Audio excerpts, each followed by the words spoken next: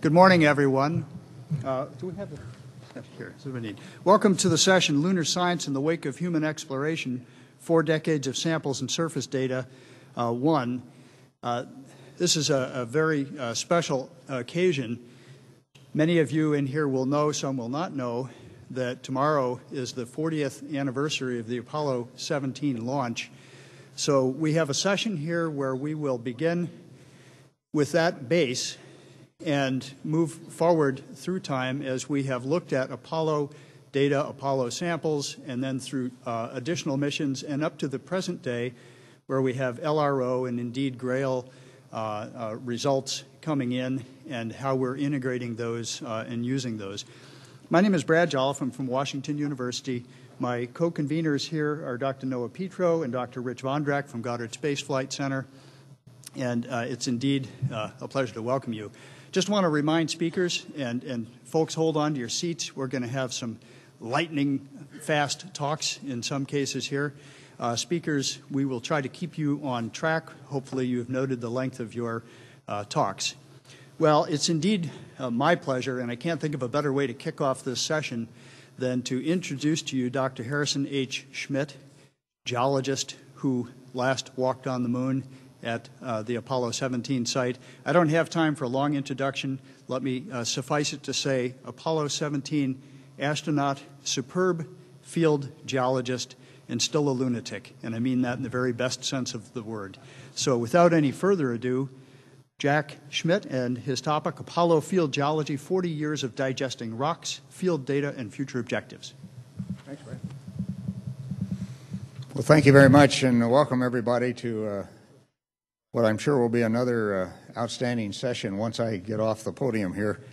The uh, uh, first thing I wanted to uh, take care of was uh, a question I've been asked by several of you. Have we seen the bear recently? As you may recall, last year we had seen the bear. Well, we have. This is the bear.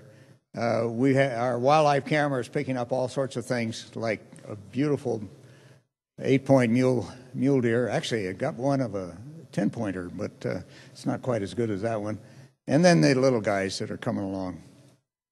Uh, I did want to begin today with, uh, again, as I did at the uh, LEAG meeting, a uh, tribute to Neil Armstrong, who really was our first uh, lunar field geologist. And you, I'm not, you recall, since we now have LRO photography, the landing site for Apollo 11 uh, geologically speaking, almost certainly on a, a, array of material out of West Crater. And fortunately, uh, uh, that uh, provided us with a, an extraordinary suite of uh, basalt samples that Neil collected, uh, and also with a, a, variety of other material. The most important to some of us may have been the soil sample from Apollo 11 that Neil fill the rock box with, having uh, expressed to me that he thought the box looked a little empty until he filled it up with soil. Fortunately, what that 10084 uh, is, uh, is is really a, remarkable sample of the of the regolith and uh, and of its resources. Uh, I have. Uh, I'm going to go. you've seen most of this, and I'm not going to spend a lot of time since I don't have a lot of time but just to illustrate, just by the number of items on this uh, chart, what uh, the samples and the other work that uh, Neil did has pro- have provided us. Uh, you know, do this in the context of of thinking, uh, what if we had no other missions? Uh, and, and as a matter of fact, we used that idea when we actually put together the experiments that went to Uh, to uh, the uh, moon with Apollo 11 because the ALSEP was just not going to go. It was uh, too heavy uh, for the time. it meant three seconds of hover time. If we, the 300 pounds would have meant that much. And so we came up very quickly with the, a, seis a, seismometer and a, and, a, and a corner reflector as the two experiments that Neil deployed. Uh, that was done in consultation between uh, me and uh, Frank Press and Gene Simmons and a few of the old timers of the time, uh, geophysics. With that question in mind, if you never got back to the moon, what two geophysical experiments would you like to have? And unanimously, uh, uh, the recommendations came back those two. So that's why we knew what we did know at the time from Apollo 11. Now, more generally, uh, the astronaut participants in what was called the field, Lunar Field Geological Experiment uh, with uh, three different principal investigators, uh, Gene Shoemaker, uh, Gordon Swann, and, uh, and Bill Muehlberger, they provided rapid reaction to unexpected findings based on their own inherent intellect, the, the experience uh, that we gave them and uh, the training that came with the mission. Uh, the diverse sample collection uh, that included cores, which would have been very difficult to get at the time any other way, uh, observations of sample context, which you find in the transcripts, and the photo documentation, the stereo photo documentation of the samples and their geological context. the best use of that so far has been with professional papers by the USGS, such as Ed Wolfe's et uh, paper, and uh, uh, really uh,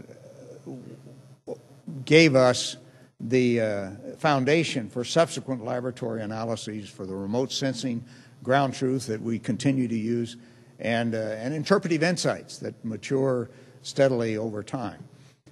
also, their mechanically complex experiment deployment I say mechanically complex at the time because you look at what Curiosity's doing on Mars and you know it's doing some things. But still, there were the ALSEP uh, packages were complex, more complex than they needed to be, but nevertheless uh, were uh, deployed by humans, and it would have been quite difficult in that time to do it any other way.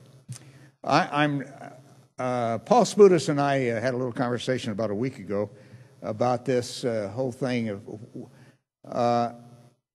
about lunar meteorites. Would we have recognized them as coming from the moon without the Apollo 11 samples? And uh, that's just something I let you all think about.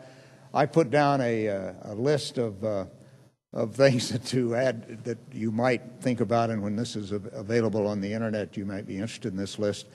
Uh, if nothing else, uh, it may be a teaching tool, teaching aid, a good exercise, maybe an exam question. Uh, that uh, what what what would, would we have learned uh, that the lunar meteorites came from the moon, and and what could we have learned from them without the Apollo samples? Now, I, have mentioned many times, mentioned again this morning at a press conference, that I, I think the, the, the, one of the most important, if not the most important, aspects of, of our understanding of the moon is that the moon records the major impact history prior to about 3.8 uh, billion years ago. That is something, as you all know, we just don't have uh, available to us on Earth. Uh, it's been lost uh, due to Earth processes uh, in the first 800 million years or so and uh, prolonged, but it was a period now we know, we did not know before, of prolonged and punctuated impact violence uh, continental scale, probably differentiated melt sheets. And all you need to do to wonder about that a bit is uh, the dates that we're coming up with on the ancient zircons. The oldest now being 4.4 billion years, which uh, I suspect is comparable uh, to the age of formation of the largest lunar basin that I believe occurred. Not everybody, of course, agrees with this, but that's Procellarum.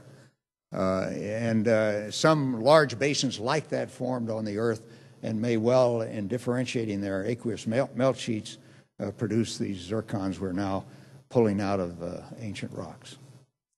Uh, also, you have to uh, pretty well imagine, if not conclude, that in the aqueous environments of the Earth, that there was a clay-rich regolith, the soupy regolith, and it was in that uh, uh, environment in which life's precursors, molecular precursors, formed. Uh, that uh, is uh, is something that I think we can take pretty much to the bank now and start to think about what it means. And having now from Mars the the um, information that the ancient rocks on Mars include a great deal of clay uh, helps to support this uh, general hypothesis. Now, for planetary and asteroidal surfaces, the moon offers our baseline. Uh, the regolith samples, of course, give us a detailed character of an airless body's regolith. Uh, the uh, formation processes that have to be associated with that Uh, some very unusual things, of course, have come out of that analysis, not the least of which is the formation of nanophase iron by micrometeorite impact. Uh, and the in situ resources that uh, we have now found there, primarily solar wind resources, but also the resource of the moon itself as they uh, interact with the solar wind uh, at high temperature. Uh, spe- specifically, water. I keep trying to remind everybody that you can make water anywhere on the moon. You don't have to go to special places for it, even though the, the trade study for the, for the cost uh, impact of, of those two has not been done. Uh, the surface environment and subsurface, subsurface structure primarily comes from uh, experiments uh, provided by the ALSEP. Uh, the uh, robotic deployment at that time was beyond then available technologies and budgets, and so uh, it was left to the astronauts. Unfortunately, in the early days of design, the designers were told to, quote, give astronauts something to do. Well, they did that in, in spades. Uh, Bill Anders and I ended up at a, at a PDR at, uh, at Bendix uh, tr- trying to recover from that statement. and we got 56 uh, uh, Calfax fasteners uh, down to, I think it was 19 Boyd bolts, two different entirely kinds of fasteners, one in compression, one in tension. but it, and it, it, did make it doable. It, ALSEP was not doable as originally designed. But we did get it into the thing where, although it took most of, of a full EVA, uh, you could get it deployed. The uh, airless surface environment in space, uh, dust, um, uh, that, by the question mark, I'm referring to uh, uh, levitated dust. I'm still a bit of a skeptic on that. Micrometeors, meteors, transient gases, the solar wind, of course. The lunar subsurface structure, quite extensive. the apparent upper lower mantle boundaries, uh, heat flow uh, uh, cores, the core of the moon with absence of a global magnetic field, at least in recent times, thickness of a, basalt cooling unit. That's the Taurus Littrow cooling unit, uh, probably about uh, uh, 1.2 kilometers thick. interesting implications if indeed the major parts of the Mare are single cooling units due to very rapid eruptions and uh, moonquakes with uh, information uh, from that as well as other experiments on the deep thermal environment of the moon. Uh, sample diversity does uh, now uh, and has enabled realistic debate of the, on the origin of the moon. We see a recent proliferation due to increasingly precise is- isotopic data, proliferation of ideas on the origin of the moon, hypotheses, two approximately equal bodies colliding in space uh, the uh, fast spinning, uh, giant impact into a fast spinning Earth, the planetary disk accretion outside the Roche limit, and uh, capture of a core orbiting uh, planetesimal. That's an old one uh, left over from Alfvén and Arrhenius. any origin hypothesis, though, must explain the angular momentum of the Earth Moon system, and there's some ingenious ideas on how that can be explained now identical isotopic geochemistry relative to the Earth, the volatile retention in pyroclastic uh, volatile source regions, that is, reservoirs of volatiles in the interior of the moon, uh, volatile depletion in the Mare source regions, uh, abundances of non volatile elements in, uh, uh, throughout the moon, as near as we can tell. Uh, and apparent seismic and compositional boundary between the upper and lower mantle, and the size of the core. All of these things have to come into uh, origin hypotheses. Now, uh, quickly transitioning to the uh, issue of water ice and the lunar cold traps, uh, I am uh, under the impression, with very limited uh, look at the two neutron spectrometers that have flown, that we may have to work with both of them to figure out exactly what's, what cold traps are indeed uh, contain uh, uh, precipitated volatiles, prospector versus LEND. but nonetheless, we have three possible sources now. First of all, the comets, which has been the original idea with reprecipitation of cometary volatiles, solar wind reactions with the regolith, uh, and, uh, and, indigenous pyroclastic volatiles.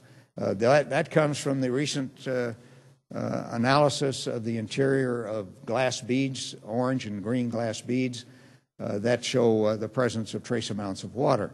Uh, with those uh, eruptions uh, three to three, three and a half billion years ago on the moon, uh, we, uh, we do have a, a, water introduced into the lunar environment that may uh, have uh, migrated towards the uh, poles. Uh, lunar resources, uh, cost-effective supply in space and at space bases and settlements, uh, quite a list of uh, resources that may be important to us then. Cost-competitive use on Earth and for space propulsion and settlement power, of course, is helium-3 as a fusion fuel. Uh, living in space, we have a number of lessons learned, hardware and software, crew capability and training requirements, planetary surface operational requirements, uh, and much improved space suits needed are all things that are well understood.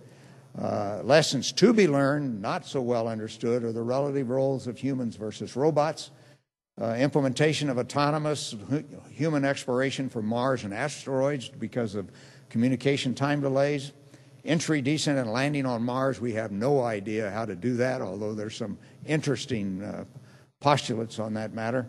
And uh, how to explore an asteroid, that's, uh, that's another big question. Uh, how do you attach yourself to a, an essentially zero gravity body? And in situ resource utilization in space. Uh, all of these uh, lessons to be learned are something that I personally think can uh, result from putting the moon in the critical path of going to Mars, and we'll see how that works out. Economic sustainability of bases and settlements uh, relates again to uh, the use of the resources of space. Open science questions that uh, I think we continue to have to look at uh, large basin age chronology and the history of impact episodes. That relates directly to understanding the Hadean on Earth and on Mars. Uh, we can't forget that. South Pole Aitken and non, other non, and non-Mascon basins are particularly important in, uh, in this.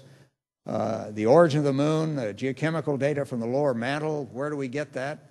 Uh, the modeling of non-impact capture, I still say needs to be done uh, much more rigorously than it has. Uh, mechanism for KREEP, KREEP your KREEP concentration under the Procellarum Basin is of importance with continental scale basin modeling, and by that I mean basin modeling here on Earth. What, what in the world does a, South Pole Aitken or Procellarum impact mean when, it's, uh, when it occurred on the Earth? What, did it, how did, what, what does a modeling of that uh, tell us?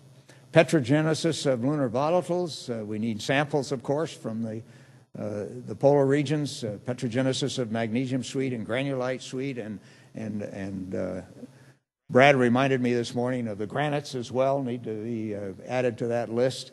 Uh, the uh, Central Peaks, Sculptured Hills uh, are all uh, areas, and plus the volcanic regions uh, that have been identified recently, silicic volcanic regions.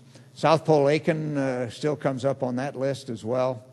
The lowest concent cost concentrations of helium-3, water, et cetera. Again, that's, that's a, not only a data question, it's a trade study in terms of the cost of reaching these areas. Uh, we have titanium-rich regolith uh, for helium-3, which uh, shows ilmenite trapping, and we have a high-latitude regolith cold trapping. Uh, it's, it's, it's not clear which of these is going to be most important. And so after 40 years, we, uh, we leave uh, the Challenger here sitting, or part of it anyway, leave, sitting on the lunar surface. Fortunately, the, the upper half of that worked very nicely and, and brought the crew back. Thank you very much, ladies and gentlemen.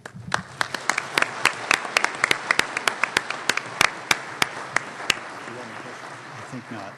Well, we had a number of challenges in there that I heard, and I think in the interest of trying to keep us close to on time, we'll move on. Please try to catch Dr. Schmitt after the session if you have a quick question, but I warn you that he'll be uh, moving quickly himself as he has to head to the airport.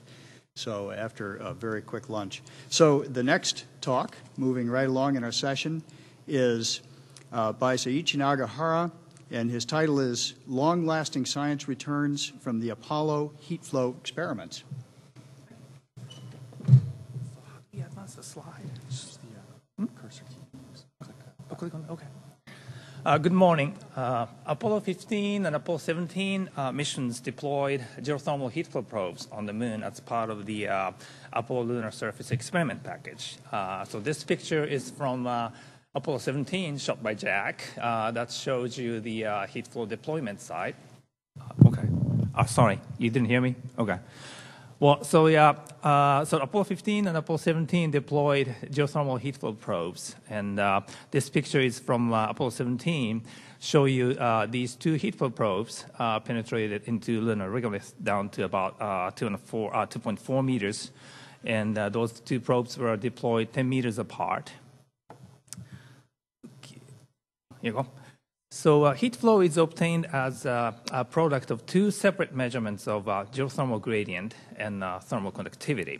So these two graphs summarizes the uh, uh, two set of measurements obtained at both Apollo 15 and Apollo 17 sites. So Apollo 15 sites, they were able to drill down to about 1.5 meters depth and measure temperatures at different depths, so that gave the thermal gradient. In Apollo 17, as I told you earlier, they were able to drill down to about 2.4 meters depth and uh, able to measure the geothermal gradient at greater depth. Then for thermal conductivity, uh, the uh, instrument had a capability to measure uh, thermal conductivity in situ in the hole, but the principal investigators of the, the project, Mark Langseth and his colleagues had some concerns about the, uh, the whole condition, and uh, so they ended up not using those values and then estimated thermal conductivities in a different way. And uh, so more recently, also, more recent researchers have sort of uh, uh, raised some concerns about uh, the temperature measurements also. for example, so this gives you the temperature temperature records of uh, Apollo 15. So the, the probes were deployed for multiple years. And uh, so this graph shows you the, the how the temperature changed at different depths since the time of the deploy deployment to uh, December of 1974. Then as you can see, this uh, purple line, uh, so that's the, uh, the measurement taken at about half meter depth. And as you can see, the temperature fluctuate in association with the, the diurnal fluctuation of insolation. Then you can also see uh, the seasonal change as well. Then this seasonal change goes down easily to about a meter depth. That's the red line here, right? The, if you go beyond that, you can still see this multi-year warming trend. Then, so in the last several years, there has been a debate about so what caused it. But in any case, I don't have time to get into those uh, uh, discussions, but uh, a few years ago, a panel of scientists was assembled uh, in planning for uh, International Lunar Network. And then actually quite a few of uh, people who served in the panel are sitting in the audience, I recognize. But anyway, so, so when it, if there's going to be a, a, future mission that will deploy a heat flow probe on the moon, the probe should reach three meters depth. So to avoid any sort of concerns about surface influence. So that was their recommendation. So so uh, uh, for the last 40 years, uh, so the, uh, these heat flow data sets okay, still uh, remain to be the only set of in situ heat flow measurements obtained on an extraterrestrial body. So, so the science community basically tries to squeeze as much juice out of these data, and even now, so if you look at my uh, sort of uh, uh, statistics I kind of came up with for the, the number of LPSC abstracts that cite the original heat flow measurements work, as you can see, so the number is still growing actually. And then also the, the heat flow measurement on the moon is still considered to be one of the highest priorities for any future lunar landing geophysical missions. So, uh, so my collaborator, my collaborators and I are sort of in, in anticipation of that kind of mission happening uh, in the near future. Uh, we are designing a heat flow instrument for uh, a future mission to be deployed from a small lunar lander. Then, uh, so in our new instrument, uh, we don't use drill, and uh, so that basically saves a lot of weight. And so our total package is going to weigh only about one and a half kilogram then uh, so we will uh, so this is the in internal sort of uh, uh, uh, architecture of that instrument, and, and so this black thing is the uh, the the stem that's made up of fiberglass composite, and it spools out just like a, a steel tape measure spools out of a reel. So, uh, so it has some stiffness that you can point it down. Then at the tip of that stem, uh, we have a, a, penetrator cone. Then at the tip of the cone, we have uh, small holes that emit uh, pressurized gas. So, uh, so the, the way the instrument is designed, so basically we push the stem downward, And at the same time, we emit this pressurized gas to blow away the loosened soil. And uh, so that's how we actually penetrate into greater depth into lunar regolith. Then at the tip of this penetrating cone, we have also a, a thermal sensor to measure uh, in situ thermal conductivity and the temperature. Then also other temperature measurement sensors are embedded on this stem. So, uh, so we have been testing uh, the excavation system and the temperature measurement system separately so far. Then uh, for the excavation system, we have a keg full of uh, JSC-1A lunar simulant in a, a, vacuum chamber. And then, so we have been testing it. Uh, then it looks very promising. Uh, so until up till these recently, the so-called device called MOLE has been considered to be the sort of low power, low mass option for deploying heat flow probe. Then actually, uh, this mole-based heat flow instrument will go to Mars on uh, InSight mission. And uh, so this, uh, this is a schematic of that mole system uh, developed by DLR. So it's about a foot long and one inch in diameter. Then it has this internal hammering mechanism. So basically, it uses that momentum to wedge itself into uh, the regolith. Then, so this may work on Mars, but we are not so sure about if that works on the moon because the lunar regolith is very stiff. So uh, if you read some uh, entries from like Apollo lunar journals, you find something like this, uh, like the Apollo 15 and Apollo 17 core tubes required 50 hammer blows by astronauts to get down to 70 centimeters depth. Then we want to go to three meters depth. So, uh, so we needed to come up with some robust way of uh, excavating the lunar regolith, and this uh, technology looks very promising. Then also we are testing the prototype of the uh, in situ thermal conductivity sensor. Again, so we have a prototype, then uh, we uh, put them in the vacuum chamber, then we make a side-by-side measurements with a standard thermal conductivity probe, and then comparing the results. And uh, the, the data we're getting so far uh, seems very promising. Then, uh, you know, we should be able to determine thermal conductivity within like 5% or so in the lunar vacuum, the, in the lunar regolith. So uh, while we make these uh, efforts, then of course it's we still try to extract as much information as possible from the previous heat flow experiments. Then, uh, so I have I'm collaborating with another group of scientists to uh, recover and fully restore all the data from the Apollo heat flow experiments. So this graph shows you the timeline of the uh, experiments for Apollo 15 and Apollo 17. Then, as you can see, the instruments actually kept collecting data till 1977, but but the principal investigators uh, only processed the data up to 1974. So uh, in writing his uh, final report, so uh, more than two years worth of data didn't get processed. Then so later, uh, so those data went missing, unfortunately. So uh, then the group based at JAXA and in collaboration with Yoshio Nakamura at the University of Texas were able to recover a big good chunk of it several years ago. Then couple years ago, I was able to locate about 450 uh, magnetic tapes that contained the data from all the ALSEP instruments for a three months period in 1975. So uh, my collaborators and I are going to start working on extracting the data and processing the data, not just the heat flow, but all the ALSEP instruments in the next uh, few years. Okay, so this is my last slide. So uh, as a geophysicist, I really feel that we must fully restore and preserve these ALSEP data because um, as surface experiments go, ALSEP scope and the duration of the observation have never been surpassed by any of the uh, uh, more recent robotic missions. And uh, then also surface experiments of this magnitude may never be repeated again. So that makes the ALSEP data even more important. Thank you very much.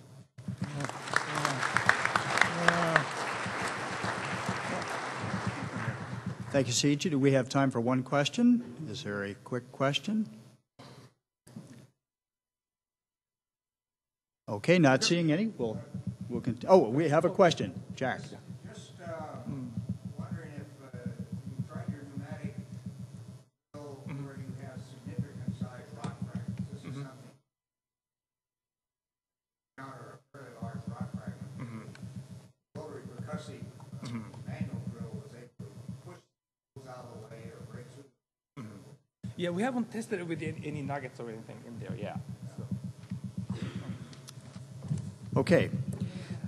Our next presentation is by Dr. Mark Robinson, who is the principal investigator of the Lunar Reconnaissance Orbiter camera systems The title is LROC Advances in Lunar Science. Mark? All right. Thank you, Dr. Jolliff.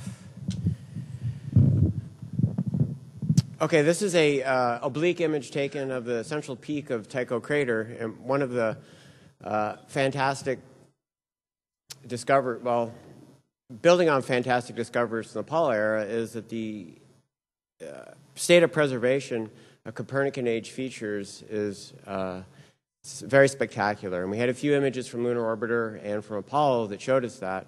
But now we have images from all around the moon. Uh, I'll drop down into this a little bit. This is the central peak, as I said. It's about 15 kilometers across on the base right here, and it's 2,000 meters tall, 6,000 feet. And uh, it never ceases to amaze me that a mountain that big can be formed in a few seconds. And if you look at the base of it, you can see that sharp boundary where the impact melt that uh, flooded the bottom of the crater, filled the bottom of the crater, is lapped up against the base of the central peak. And to the left, you can see where it splashed up a little bit. And I'll look at that in detail. So how do we do the? Ah, there we go. That's easy. Okay, here's a uh, showing you the summit of the central peak, which is just a blow up of that previous image. And to give you a sense of scale, that boulder that's sitting on the top is 130 meters across. It's basically about the size. If you had a, a big crane, you could pick it up and lower it into a football stadium to give you some sense of uh, what, what that looks like. The dark material that, line, that is coating the top is impact melt. So I'm not 100% certain how that impact melt got up 6,000 feet. Either the peak rose up through a sea of impact melt or it was splashed up there. But irregardless, it's up there, and you can see when you look even more closely details that will convince you 100% that that is impact melt. Okay, here's that uh, splash up feature of impact melt on the bottom the central peak. This is just a little diversion. This image is so fantastic that I threw it in at the beginning. Now back up to where I really should have started talking. What is LROC? It's actually two, it's actually three cameras, despite the fact it sounds like one. There's two narrow angle cameras, which you see mounted on the spacecraft to the left. I also would like to mention that there's seven science instruments on this uh, spacecraft, and they're all returning fantastic data about the, uh, the moon and the lunar environment. In the upper right is the view that the moon sees of these spectacular cameras. It's looking down into the barrel. The top is the wide angle camera, and you can see it has two apertures one for visible light at the top and for UV light at the bottom. Again, it's seven different filters. Those funny looking wings off to the side are just baffles to reject scattered light to improve the signal to noise ratio. On the bottom is one of our beautiful narrow angle cameras that return 50 to 200 centimeter per pixel uh, data. Sure. Okay. Okay, uh, this is uh, the, probably the most significant result so far from the wide angle camera is a global digital elevation model at 100 meters per pixel. Um, the, while the, the WAC isn't per se a stereo imager, the way the orbit and the camera was designed, that it overlaps about 50% at the equator from orbit to orbit. So that gives us stereo, and this was processed by the DLR in, in Germany into this uh, beautiful data product. And it's on the LROC webpage, so please help yourself. Okay, uh, this is a paper that just came out in Icarus. Actually, it's coming out in January of 2013, but you know how journals are now. You can go get the paper right now. Uh, we analyzed over 24,000 WAC images and 31,500 NAC images over more than a lunar year to map out the illumination conditions at both poles. Uh, this is showing one of the illumination products for the South Pole from the wide angle camera. That's 88 South in that Shackleton crater. Now, here's, if you look at that spot right here, a blow up of the narrow angle camera that shows three spots on the rim that are illuminated for uh, much of the uh, lunar year. And if you had three different outposts, solar panels, you would only experience about 43 hours of eclipse throughout a, a lunar day, which is our lunar year, which is a fantastic resource for future explorers. Oh, keep getting mixed up with which keyboard here. Okay, uh, another great result. This is an early result. Is Harry Hiesinger and colleagues um, went and redid crater counts for key places on the moon. Uh, Copernicus crater had always been an outlier, didn't fall on the canonical curve. We went back with better image data and counted the craters again. Now it falls right on that crater curve, which lends some degree of confidence to the interpretation of uh, impact crater densities to absolute ages. Okay, this is another uh, spiffy result that just came out. Um, I guess it's been about a year now. This was a study led by Paul Spudis, looking in detail with a wide-angle camera and some narrow ca camera angle images of the Serenitatis Basin, which leads into what Jack was just talking about. And with a much better imaging, uh, able to see that it looks like Serenitatis, or the sculptured hills that was sampled by Jack and, at Apollo 17, may very well be Imbrium impact rather than Serenitatis Basin material. So if that is so, then it really makes you think very hard about the chronology of basins as they're laid out. And if Imbrium did form, that puts it, you know, all these basins happen in a very short period of time, if that is actually an Imbrium date rather than a um, Serenitatis age date.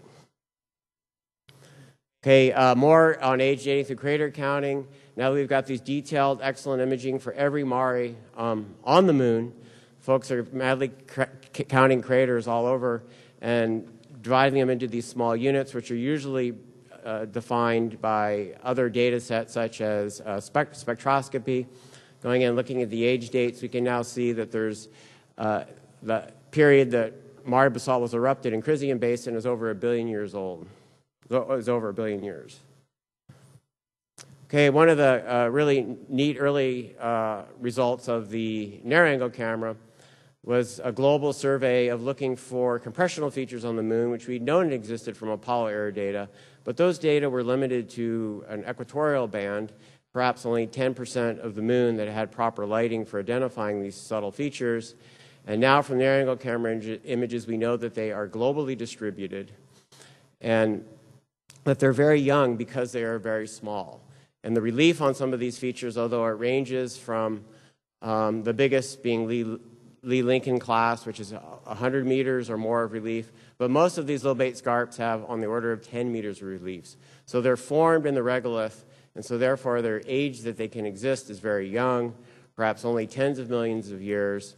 And this tells us that the moon is still in compression and that these features are being formed today, or if they're not being formed today, they just cut off being formed yesterday, which isn't all that likely. And so the, the bottom result of this is that we know the moon's crust is in compression. It's still shrinking, and this is most likely due to the, as the crust, the, the molten por portion of the crust crystallizes out and has a volume change to a solid, the crust is um, being compressed. So that's a pretty simple story. But of course, everything isn't always simple when you start looking at it in detail and you get these great new data sets. But we also see areas of the moon that are an extension and there's still an extension today because these features are also very small. And in fact, some of them we've seen have only uh, on the order of 5 to 10 meters of relief. And again, they're formed in the regolith. So if they formed a billion years ago, you would not see them. They would have been eroded away uh, by this point in time. So what is going on here with the simple story that the moon's crust is in compression when we can see in numerous places that it's actually in extension? This is a, a, a big open question. And of course, we're still hunting for more of these features as we continue adding to our data set.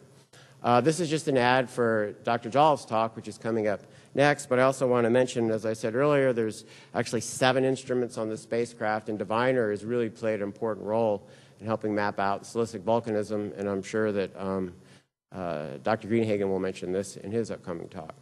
Uh, we're going back and rephotographing um, Apollo era photography, looking for new impacts so that we can get a real handle on the meter to 10 meter size bolides that hit the moon. And here's an example of one that's been found. I think we found uh, more than five and less than 10 so far. I'm not sure of the exact number. Again, as I mentioned earlier, the impact melt on these Copernican craters is exceptionally well preserved. And this is one of uh, my favorites is Giordano Bruno crater. I'm not really sure how old this crater is. Uh, there was a paper a couple years ago from Kaguya team putting the uh, upper limit on the age is, is 10 million years. Uh, other people are working on this problem, and it may be that some of the very few craters that we see are actually autosecondaries, and the age may be uh, much younger. Okay, Mare pits were originally discovered by the Kaguya team with their 10 meter, uh, beautiful 10 meter data. We went back and re imaged these. And one of the interesting aspects is testing the hypothesis that the pits, by the way, this is 100 meters across, and it's 100 meter deep, that these were actually formed into lava tubes. So we slewed the spacecraft over in this geometry when the sun was just right. So that boulder right there is that boulder right there. This is all the same pit. So anything you're seeing in this picture over here is underground, showing that this is, at least it goes back 20 meters. Now the exciting question is, does it go back 100 meters, kilometer, 10 kilometers? I don't know, but I'd love to put a rover down there to go find out. And again, another big surprise is that we're now finding lots of these pits. And most of them are in impact melt. And there's a poster tomorrow uh, by Robert Wagner that uh, details this discovery. And the way we find most of these automatically, by the way. And this is a, a, fascinating pit right here. There's actually a little natural bridge. So could you imagine being an astronaut driving a rover, getting up on the edge of that natural bridge and looking off to either side? It's about seven meters across. It's really fantastic. But the science here is that um, those complex plumbing systems that form inside these impact melt sheets, which is a, at least to me, a big surprise. And also the, these pits, be them in Mare or impact melt, are a geologic museum, and there's got to be all sorts of perfectly preserved, delicate textures and minerals um, that aren't exposed to the space environment. And of course, there's an engineering uh, boon here that it might be a great place to go and build shelters to protect astronauts from um, hazards in space, be it uh, radiation, micrometeorite, and, uh, and you also don't need to have to build a structure. You could just bring an inflatable in there and fill it up and be right at home. Okay, uh, my conclusion here is the time is right to return to the moon and gradually leave the Apollo era uh, samples and data to the textbooks where as we continue to bring back more samples and explore the moon more fully. So the moon is an incredibly inviting destination uh, aesthetically, scientifically, and economically. There's lots of lunar science to be done, not only uh, science of the moon, but science from the moon. Uh, solar system science, and beyond. And it's also a very important engineering test bed for human exploration of the solar system. So, as we, as a species, uh, leave our planet and move forward, the moon will play a key role in that venture. And finally, as uh, Jack mentioned earlier, it's a resource depot that we will eventually exploit, and I'm hoping that I will see that in my lifetime. In fact, I'm cautiously optimistic. All right, thank you very much.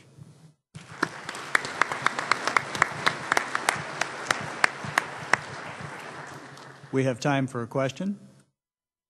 While you're thinking of a question, let me point out that Dr. Robinson brought with him a beautiful image of the Apollo 17 landing site, an oblique image, and I invite you to come up after the session and have a quick have a look at that. Or we'll and, spread it out on the floor. And I would also take an opportunity to point out that we have a number of excellent posters, and the poster session for this session is this afternoon. Questions? Yes, we have one question. Go ahead.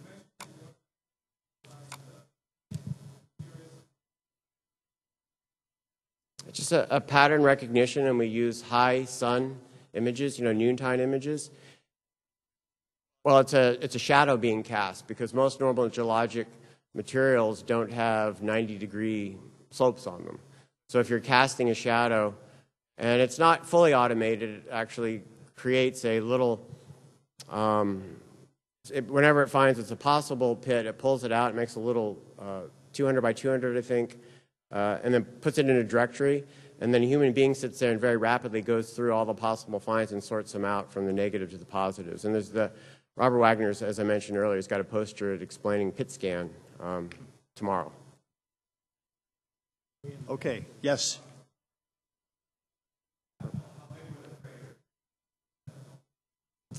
Uh, the, the biggest one is, I believe, is Copernicus crater. And, the, and, the, and it also has the biggest pit in the impact melt, and it's quite large. It's hundreds of hundreds of meters. I think it's close to kilometers. Is that right, Robert? Are you in here?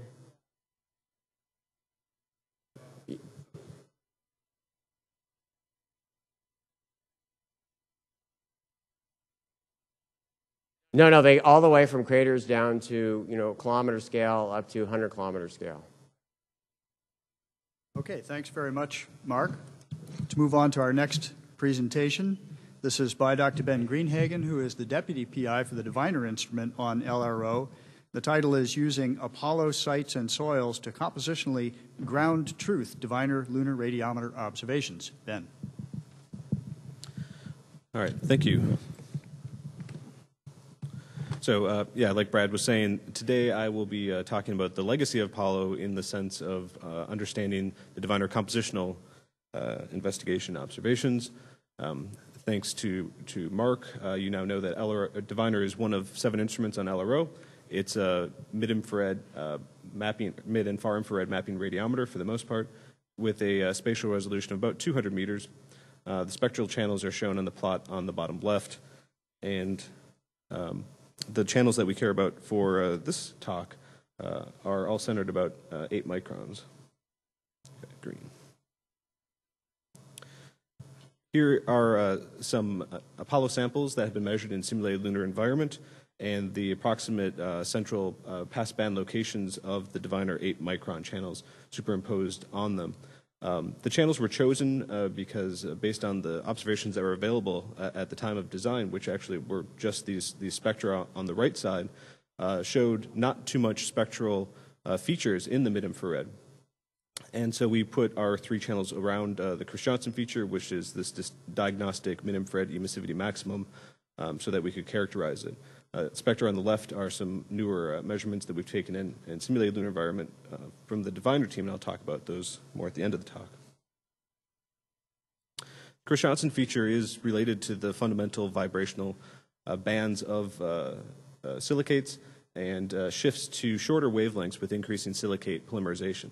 So we have a ternary diagram up here on the left with plagioclase on the top, pyroxene on the left, and olivine on the right.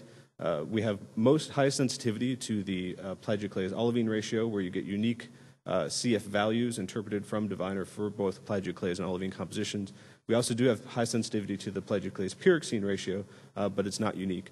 Uh, if you have a secondary data set like a near infrared data set that gives you good distinction between olivine and pyroxene abundances, then you can really nail down the compositions uh, if you include Diviner data.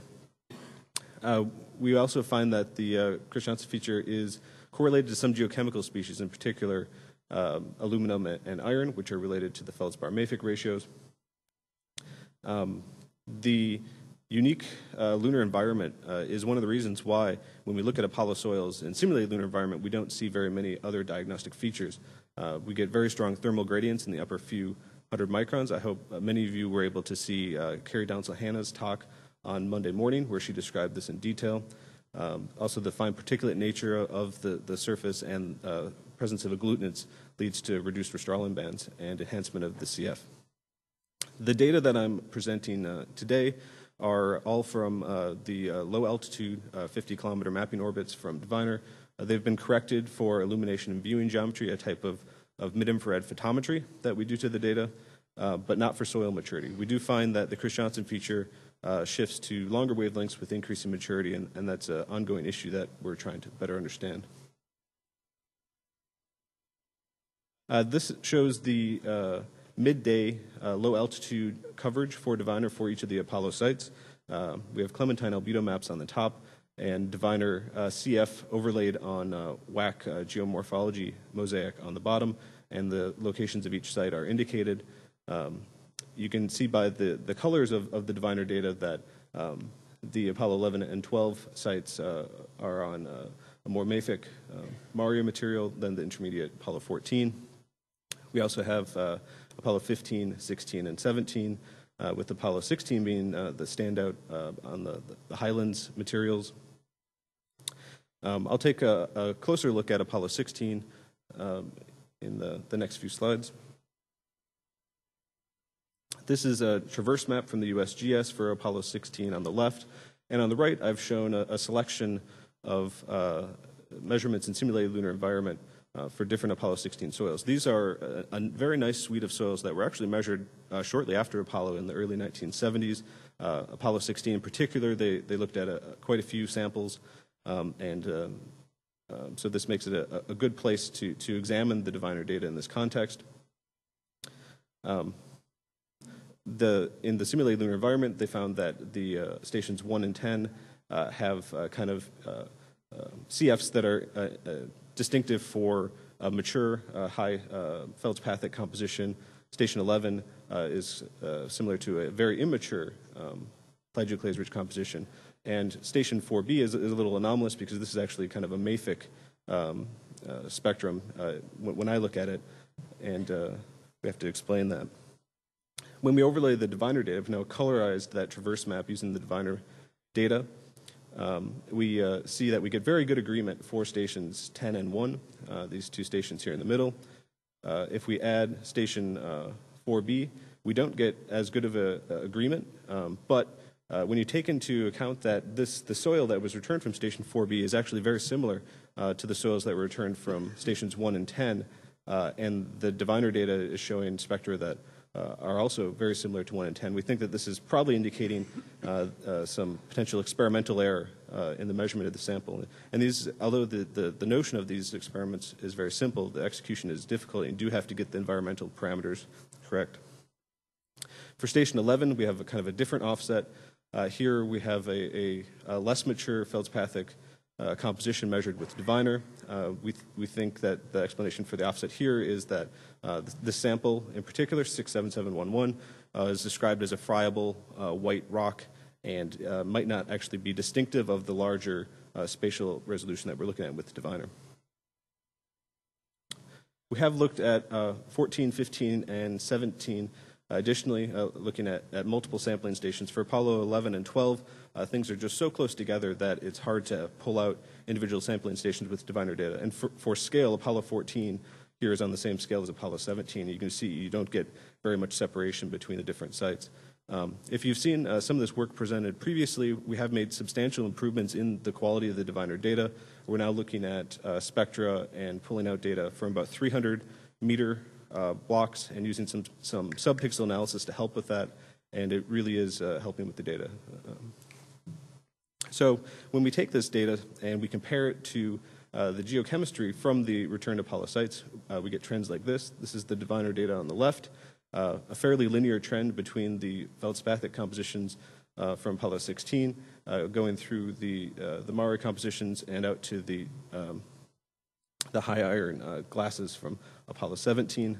Um, the laboratory measurements on the right don't have as good of a trend, and we think a lot of this is due to the experimental error. It's one of the reasons why we want to do uh, some of these experiments and repeat some of the soils that were uh, measured before. Um, I've put some arrows on here uh, to indicate uh, why we might be following off the trend on the left side too. Uh, there is the sampling bias uh, that uh, we have to be aware of. We need to make sure that when we're comparing to Apollo soils, we're comparing to ones that really are representative of a 300 meter uh, surface and, and not to just a particular rock or a particular um, bright spot.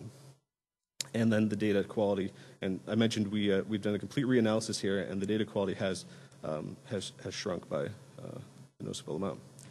Um, Aluminum and iron are, are directly related, so uh, the correlation trend is also quite good for iron. Um, and then finally, I just wanted to mention that we are doing some of these simulated lunar environment experiments for the first time in about 40 years. Uh, we have an active setup at University of Oxford that's doing these measurements, a setup uh, at JPL, and a setup at, at Brown University that are, are, getting very close to being able to, um, to do the full simulated lunar environment, and also are planning another uh, lab at uh, Stony Brook. And so we will have lots of capability.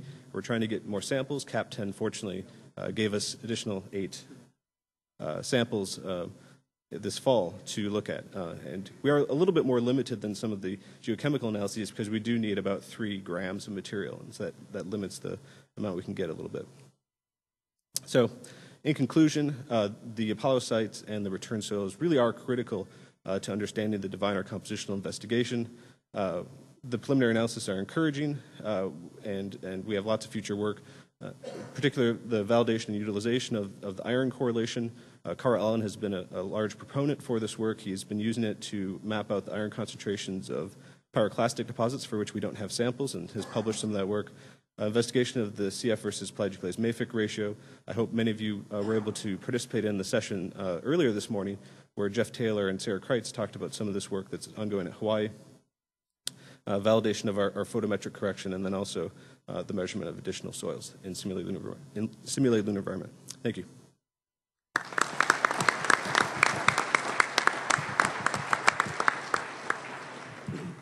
Thank you, Ben. It's a rich uh, data set that Diviner is giving us, and good to see this use of Apollo samples to better understand it. Uh, questions? Okay, seeing no questions, thanks, Ben. We'll move on to the next presentation. This is by Dr. Lars Borg. The title is Evaluation of Ages in the Lunar Highlands with Implications for the Evolution of the Moon. Sounds intriguing, Lars. Thanks, Brad.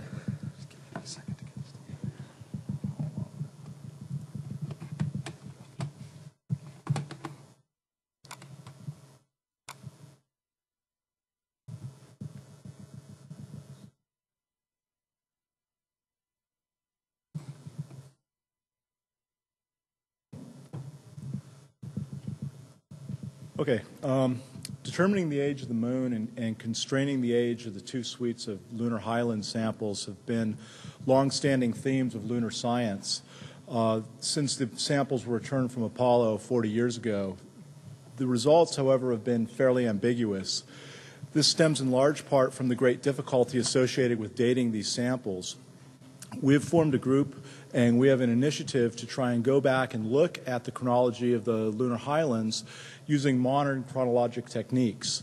As part of this, we're going to go back and evaluate some of the older ages that have been reported in the literature because obviously there's too many ages for us to go back and redo everything. So I'm going to present the results of that today. I'm going to begin by showing you some of the inadequacies associated with many of the past chronologic investigations and provide some criteria that can be used to assess the reliability of individual ages. I'm going to present some of the most reliable ages and then discuss their significance. The bottom line here is that most of the ancient ages that we have are some of the least convincing. In other words, they appear to be the least reliable. And instead, there appears to be a plethora of ages at about 3 point, or excuse me, 4.35 billion years ago. And the geologic significance of that, uh, I think, still remains to be seen. So this is a, a, summary slide showing you the, the basic problem here. This is a plot showing uh, various ages that have been determined on the two suites of rocks. The ferroan anorthosite ages are presented here. Uh, ages that have been determined on the magnesium suite are over here. All these ages are done by samarium neodymium, which is deemed by most of us to be the most reliable because it's the least affected by diffusional processes. According to the magma ocean model, we predict that this suite of rocks should be significantly or at least measurably older than this suite of rocks. And you can see that it's not. And this gives us some cause for worry and thinking that maybe the chronology uh, is in error somehow. The alternative, of course, is that the magma ocean model is wrong. So this underscores or illustrates some of the difficulties associated with these measurements. What I plotted here are ages that have been determined by individual analyses on multiple lunar samples here. And I've listed the types of, uh, of age dating criteria that have been used here. But the point to note is that each of these individual samples has a wide range of ages. And so ultimately, we need some criteria that we can use to decide which one of these ages is most likely to represent the true, true crystallization age of the rock and which ones of these ages uh, are actually uh, reflect artifacts of the analysis. So to give you a, an example of some of the difficulties associated with this, I'm picking on some data that, that I produced um, about 12, 13 years ago on anorthosite 62236. We determine an age, which is represented by this isochron diagram down here, of about 4.29 billion years. This plot shows uh, a plot of the samarium neodymium ratio against the neodymium isotopic composition. Individual mineral fractions are analyzed. A line is regressed through those mineral fractions, and the slope of that line is proportional to the age. The uncertainties, and usually the main criteria we use to assess the quality of the data, are how good this line fits these data. And that's basically reflected in the uncertainty in the age. Problem with this age, of course, is it's exceedingly young. But there's other isotopic systems that have been completed on this rock, and they show some of the, some of the difficulties. Up here in, in, this panel is a plot of the rubidium strontium isotopic data for the same sample, and you can see that there's a lot of scatter in this data, reflecting some sort of a metamorphic event, probably associated with impact. If we make our best guess at a line that going through here, we get an age that's about 3.8 billion years. So clearly it's discordant from what we're interpreting as the samarium neodymium age as reflecting crystallization of the sample. There's other in instances where we can see uh, other complexities, and it's represented on this panel here, which is a plot of the results of various isochrons. This is the age, or essentially the, the slope of the isochron, versus initial epsilon neodymium, which is essentially the, the y-intercept. I know most of you guys aren't isotope geochemists here, but the point here is that if you look at a growth model for what we suspect to be the bulk moon, it should lie along a line like this. Samples that lie in this field are argued to be derived from strongly incompatible element depleted sources. Samples that lie down here are from more incompatible element enriched sources. Both the magnesium suite and the ferroan anorthosite suite are thought to be derived from sources that should lie down here. So clearly we have some, uh, some issues associated with this that uh, underscore the potential that some of these isotopics are, are disturbed. So this is a list of criteria that we're using to delineate the most reliable ages, and I'm going to go through these fairly quickly. The first is that uh, is there co concordancy between multiple chronometers? The chronometers that are being used, are they reliable? For example, if you have an argon-argon age, it's very likely to reflect a, a metamorphic event, but it's unlikely to reflect a crystallization event. More reliable chronometers are things like samarium neodymium and lutetium hafnium as far as recording crystallization ages because these elements don't diffuse as rapidly during secondary heating events. We also use the linearity of the isochrons, which is a traditional uh, approach. We look and see if the initial isotopic compositions are realistic. And finally, we use the criteria that do the data that we determine for the concentrations and the mineral fractions for the parent and daughter ratios, do those match what's been measured by ion microprobe studies in thin sections? So if we do this and we go through and we look at the data, we can provide a sort of a, a grading chart here. On the upper uh, axis of this plot here are the five criteria that are being used. On the, on the vertical row here is various samples that have been dated, and these incidentally are for ferroan anorthosites.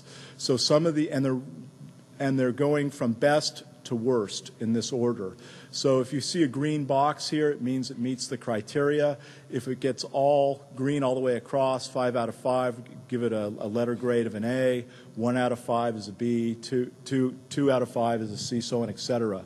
Point to note here is that the only age that has uh, the highest grade, or even a grade greater than a B, is on one ferroan anorthosite, and it has an age of about 4.36 billion years. All the other data, ours, ours included, uh, have some problems that look like they're suspect. The magnesium suite data are presented here. There's obviously a lot more of them. They're significantly easier to date. There's a few samples that aren't included here. Point to note again here is that if you look at the grades, uh, about half of them have grades that are uh, higher than B uh, or better. And if you look at all of the old ages that have been determined on these samples, they all lie down here in the bottom, so they appear to be the least reliable. The other point to note about this slide is that this age that's recorded here of about 4.35 is seen over and over and over again in these sample suites. So the question is, is, is this age recorded in other places? And the answer is it is. And I'm going to show you a couple of examples of that. This is a, a summary of zircon ages that have been determined by electron or ion microprobe. Each one of these uh, these points here represents an individual spot that's been analyzed. The point that I want to make here is that if you look at a peak of ages in the Apollo 17 site, you see uh, it corresponds to an age of about 4.34. Again, uh, showing a, a, match with what we see in both the ferronorthosite and orthosite and MG suites. The final types of ages that we have for the moon uh, involve model ages. This is a couple of examples of them. This is a plot, again, of the, the TI diagram I showed you earlier. These data here are all the data that meet the uh, B or better grade criteria.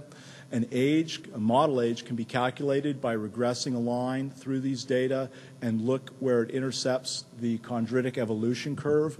In this particular case, uh, we calculate an age of about 4.39 plus or minus about 50 million years.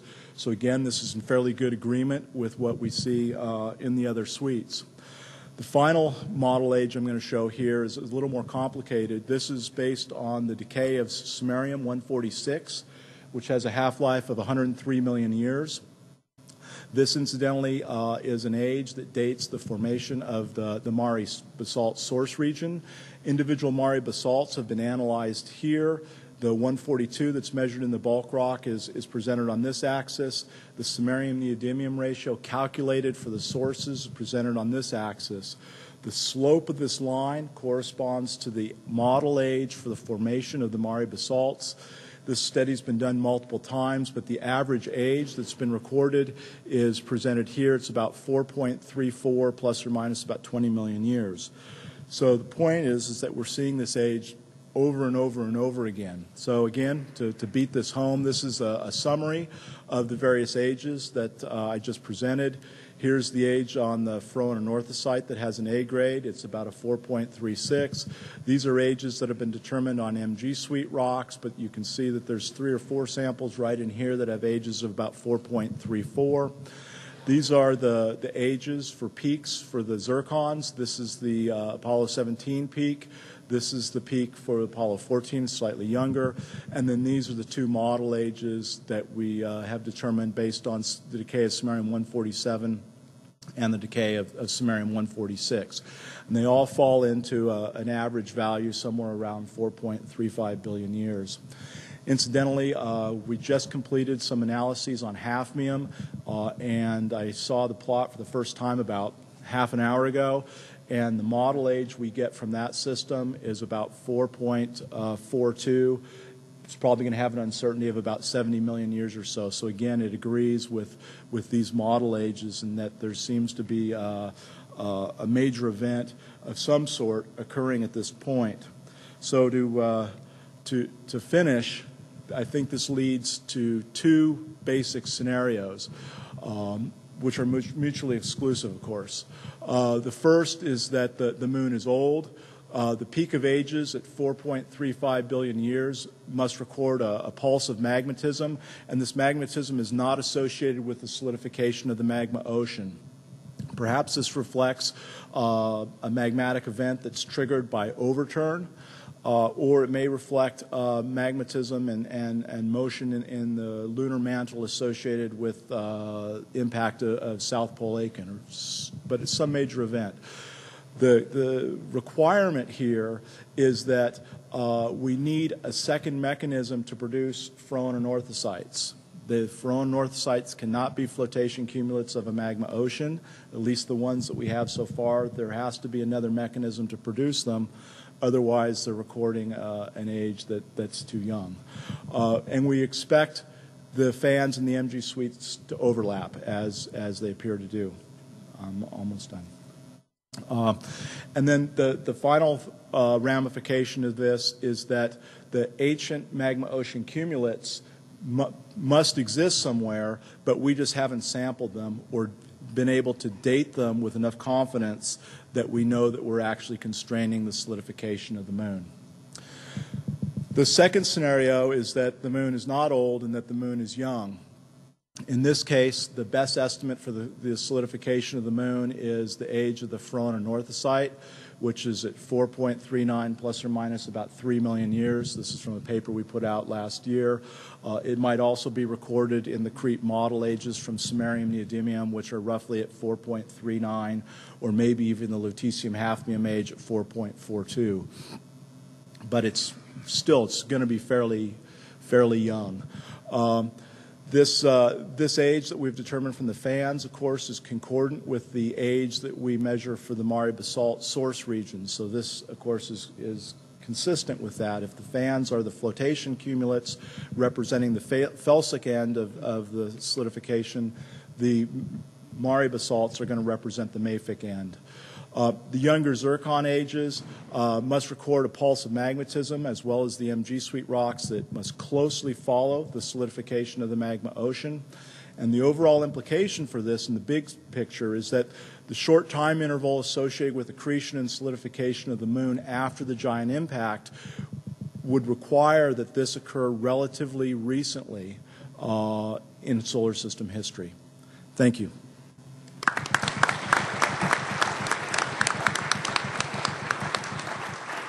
Thank you, Lars. Who says it's not a dynamic moon? The crust is getting thinner, the moon is getting younger, and the whole thing's getting wetter. Um, Question.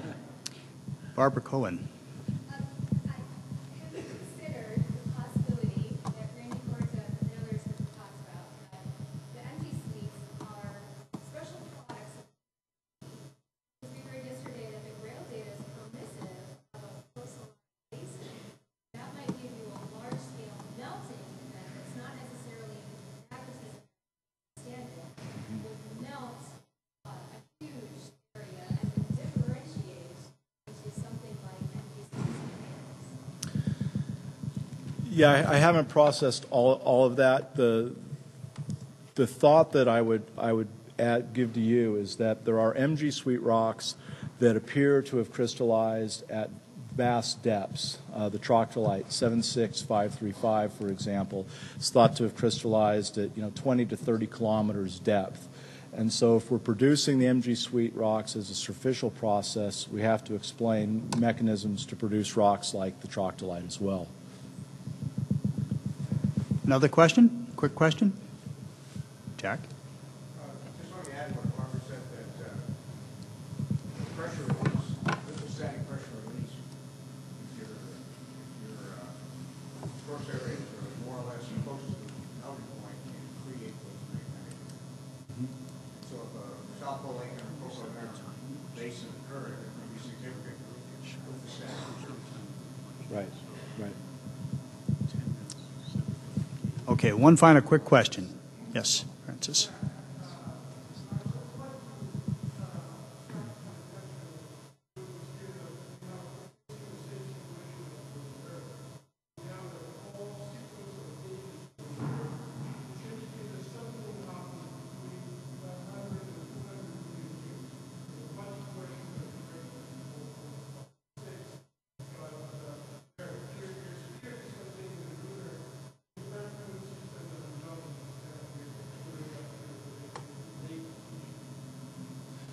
Yeah, that's right. There's, there's a concordance of ages between the most ancient lunar ones and the most ancient uh, terrestrial ones that seems perhaps not to be a coincidence. Okay, thanks, Lars. I'm glad we have these well-curated samples so that we can continue to address these questions with the gift that keeps on giving. Okay, now for our next speaker, Dr. Rebecca Ghent. Her title is Constraints on the Recent Rate of Lunar Regolith Accumulation from Diviner Observations. Becky? Is there? Okay. So now shifting to uh, very shallow processes, um, we will talk a little bit about what I think are the first observational constraints on the rate at which surface ejecta, rocky ejecta material is being processed by, by micrometeorite and other um, bombardment.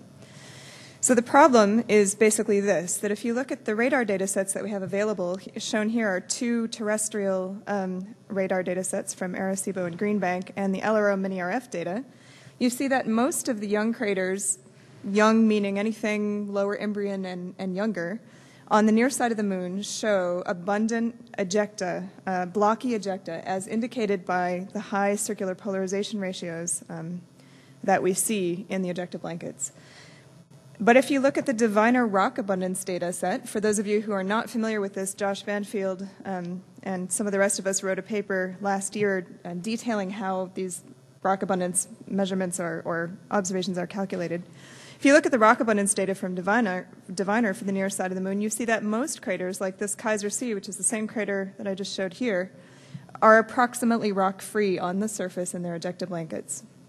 And here's a nice um, NAC image showing the rim of Kaiser C, and, and you just don't see any rocks on the surface. So I interpret this to mean that large ejecta blocks are quickly removed from the surface. So, you know, you look at, at the front side of the moon, it's approximately rock free. So the rocks must be being removed very quickly. And the remaining blocks, the ones that we see in the radar CPR data, must be buried beneath some uh, amount of thermally insulating regolith material. So the questions that I'm trying to address are these. How fast are the rocky ejecta on the surface removed? And also, how fast is the subsurface rock material processed and to what depth? Um, so we'll address the first of those first. Um, these are some of Josh's rock abundance and regolith temperature maps in the calculation of surface rock abundance, there are two results. One is the fraction by area of the surface that's covered by exposed rocks, and the second is the temperature of the other fraction of each observed pixel, pixel, which is the regolith temperature. So if you think of each pixel as being some linear combination of exposed rocks and soil, separately those two things are calculated what the surface fraction of rocks is and what the temperature of the remaining soil is. Um, and the maps look like this. So in, in areas of Mare, for instance, you can see that the rock abundances are much higher than they are in the highlands, as you would expect, because the, the regolith is much thinner. Um, so it's been observed um, that the surface rock abundance, not surprisingly, decreases with increasing crater age. So here we have a range of craters from Tycho all the way down to Manilius here, and you can see that you know as they get older, the surface rock abundance decreases. So the question is, can we quantify that um, and you know make a correlation between how much rock material is being removed and the age of those craters?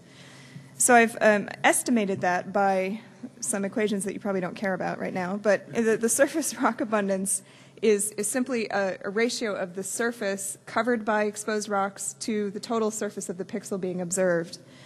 And we can um, gain some traction on what that means if we use well known size frequency distributions for ejecta, um, comminuted ejecta, such as this distribution here, which I've framed, it's usually framed in terms of mass, but I framed it in terms of um, rock diameter. And so the cumulative um, size frequency curve that you get from a power law like this for looks like this for Surveyor 7 based on lunar orbiter photographs and Surveyor 7 photographs. And so I've fit um, these two parameters. There should be a gamma right here, the gamma and k, these two constants, to the Surveyor 7 data. And I've applied that to the other craters um, that I've investigated. And so with these parameter values, um, I'll just digest this all and say that the mass per unit area represented by those surface rocks turns out to be directly proportional to the average rock abundance, which is not so surprising. So if we assume a density for the rocks um, and use this to figure out how much mass per unit area there is in an ejecta blanket, um, we can plot the, that surface rock mass as a function of crater age. So this is a log-log plot. And we see that this is very nicely behaved for um, these 11 young craters for which I could find reliable ages in the data, uh, sorry, in the literature. Some of these, I should say, are new data from Harry Hiesinger and Carolyn van der Bogert and their students using um, the new NAC images. So these are new counts for some of the craters like um, Copernicus, which Mark mentioned earlier. Also, this age for Giordano, Giordano Bruno is the, the mean age quoted in that Morota paper from Kaguya data, which is 4 million years, but it could be anywhere between 1 and 10. In any case, we see that there's a really well behaved relationship here between those two things. So now let's turn to the subsurface rock material. Um, the key concept here is that shallow subsurface ejecta blocks influence the regolith temperature, the other parameter that we can measure from Diviner. So if you have a rock sitting right under the surface, the surface temperature that you'll see of the regolith, even though it's covered with it, the rock may be covered with regolith, will be higher than if there were no rock in the subsurface, down to some depth. And so um, we can match the nighttime temperature evolution of um, you know any given spot on the moon to one-dimensional thermal models, which the Diviner team has been using with great success to match um, the nighttime temperatures around the moon. And so the, the slope of these nighttime cooling curves are really the key parameter. If you have a very high thermal inertia, um, you know the, the nighttime temperature doesn't change very much because the rocks don't cool off very much. Um, low thermal inertia, the nighttime cooling happens much more quickly. And if we assume um, an exponential density profile with depth, which again has been, it, this isn't coming out of thin air, this is, is actually um, motivated by observations from the Apollo core data, from a number of other sources. Um, if we assume this exponential um, profile of density with depth, we can frame the thermal inertia in terms of density and we can get a handle on um, the best fit density structure in the regolith. And so if we do that and we constrain the surface density here and the um, bulk density from these observations, we really just have to fit this parameter h, which is kind of the, the e-folding depth of our exponential um, uh, density curve. And so I'm just going to skip ahead here. This is what the density curve looks like as a function of depth. And so a young crater that has lots of regula- lots of ejecta close to the surface might have a very shallow H value and old craters a deeper H value. And so we can make maps that look like this where we plot age as a function of position, et cetera.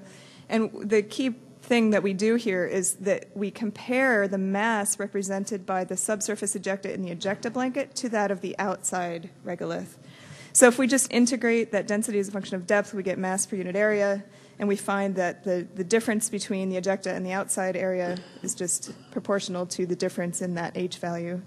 Um, so we get the, basically the same plot. if, we, if we plot the excess mass um, represented in the shallow subsurface in the ejecta blankets versus age, again, we get a very well behaved relationship. And if we add them together, we get the total mass processed.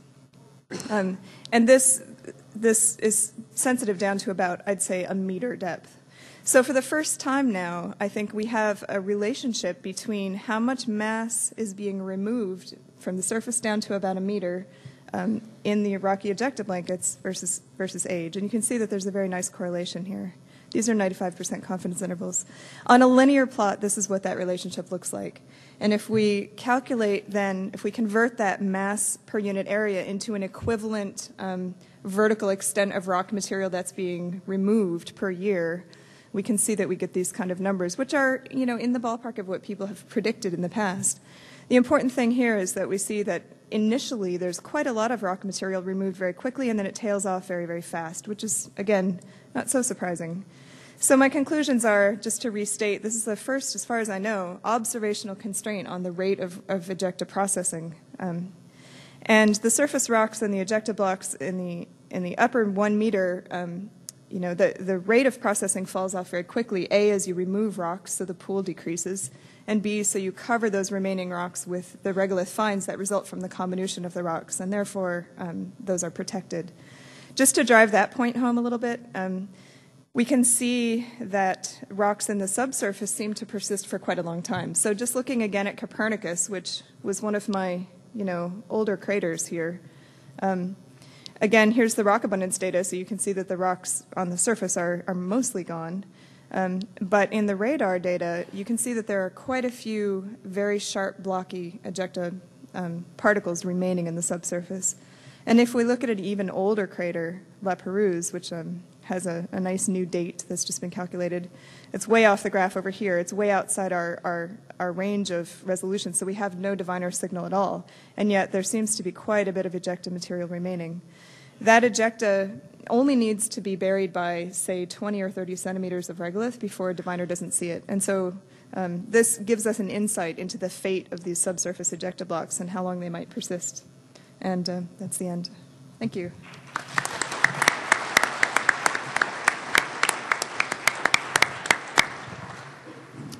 Okay, any questions? Okay, looks like you're off, off the hook. Thank you, Becky.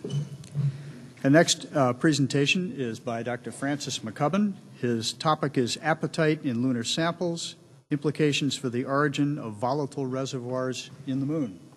Francis.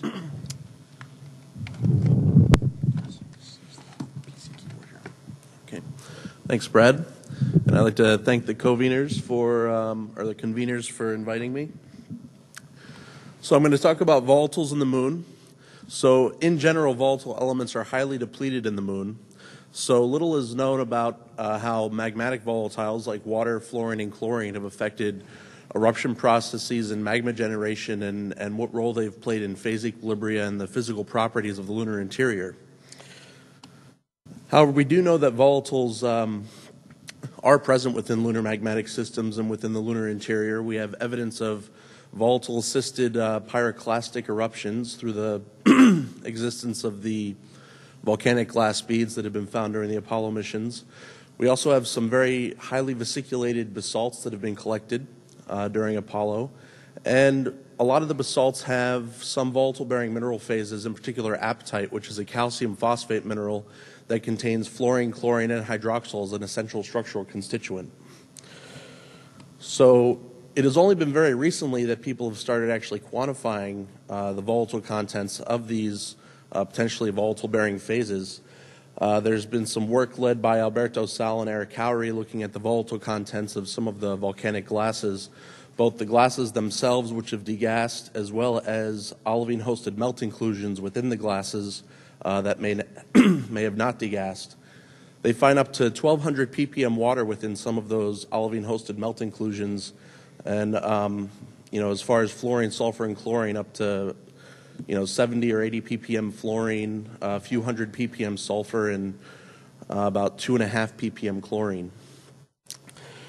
As far as the apatite, um, that's sort of been led by myself, uh, a group led by Jeremy Boyce, and one led by Jim Greenwood, uh, where we've been looking at uh, SIMS volatile contents for fluorine, water, and uh, chlorine. Although I only focus on the studies that look at all three. Uh, Jim Greenwood mostly looks at hydrogen and also the D to H, uh, which I'm not going to get into. So the lunar apatites are primarily dominated by fluorine, uh, but they do have OH. So, uh, so the lunar magmas, uh, including the glasses and the Mare basalts, do seem to have some OH. However, you know, how do, how do these uh, volatile contents actually, what do they tell us about the thermal and magmatic evolution of the moon and the distribution of volatiles in the interior? Well, to be honest, we need to look at both. We can't just look at the glasses or the apatite. Uh, the glasses give us a very direct probe of melt volatile abundances um, because they're a direct measure of the volatile contents of a melt, although you do have to worry about uh, degassing. And the apatites, uh, which are an indirect measure of uh, volatile contents in the melt, occur in a wider array of samples than just the glasses. So the glasses give us an idea of uh, partial melts from kind of the deep to mid-lunar mantle, whereas apatites occur in KREEP, KREEP-rich uh, impact melts within crustal rocks and within Mare basalts. In order to use apatite to understand uh, magmatic volatile contents, we first need to understand the partitioning uh, behavior and relationship of fluorine, and chlorine, and water between apatite and silicate melts. And this has caused sort of a big push for some experimental work, uh, some led by my lab as well as uh, Jim Webster, and I believe uh, Jeremy Boyce and Craig Manning are also doing some experiments. And so far, we've, we've got a very limited data set, but from the results from my lab, we're finding that the mineral melt D values themselves, themselves very uh, substantially. Um, however, if you look at the ratio of the d values, so the exchange KD values, uh, those are remaining relatively constant. Um, overall, uh, water, or sorry, fluorine partitions about 100 times more strongly than water, and chlorine partitions about 25 times more strongly than water. So water is not partitioning very strongly in apatite at all. So the, the low abundances of hydroxyl that we tend to find in some of the lunar apatites don't necessarily mean that the, magma, uh, the magmas from which they formed were very low in water. So if we take these exchange KD values, we can actually project fields into uh, the apatite ternary where we've got fluorine, chlorine, and uh, OH at the apices. And the region in blue, both the light blue and the dark blue, represents um, if you have apatite plotting within that region, you've got a melt that's got more water than chlorine and more chlor- or sorry, more water than chlorine or fluorine on a weight basis. Uh, the area in green indicates if you've got apatite plotting there, indicates it probably formed from a melt with more chlorine than water or fluorine. And that really small uh, purple area up against the floor apex is where you have apatite forming from a fluorine dominated melt. Uh, and this sort of illustrates the, the really strong preference for fluorine uh, in the apatite, um, at least between about zero uh, or one bar and uh, one GPa. And interestingly enough, if you're only looking at apatite by electron microprobe, you can't actually tell the difference between a fluorine dominated melt and a water dominated melt. You really need uh, SIMS analyses because there are some issues with analyzing apatite by electron microprobe. So if we take the SIMS analyses from, uh, from my, myself and Jeremy Boyce and plot them into this area, we see that, oh yeah, we see that uh, this group of uh, samples here, which are all uh, Mare basalts, plot within this field indicating more water than fluorine and more fluorine than chlorine. And we've got one, only really one sample from crustal rocks that have been analyzed by SIMS thus far for fluorine, chlorine, OH. And they plot in this region indicating a higher chlorine than water and fluorine. Uh, so there, it's an interesting difference, but can we really be using you know, the apatite to discriminate relative volatile abundances? So uh, there's a problem, and, and you can tell by its name. Uh, apatite is from the Greek root, uh, Greek root apate, which means deceit, and it is aptly named.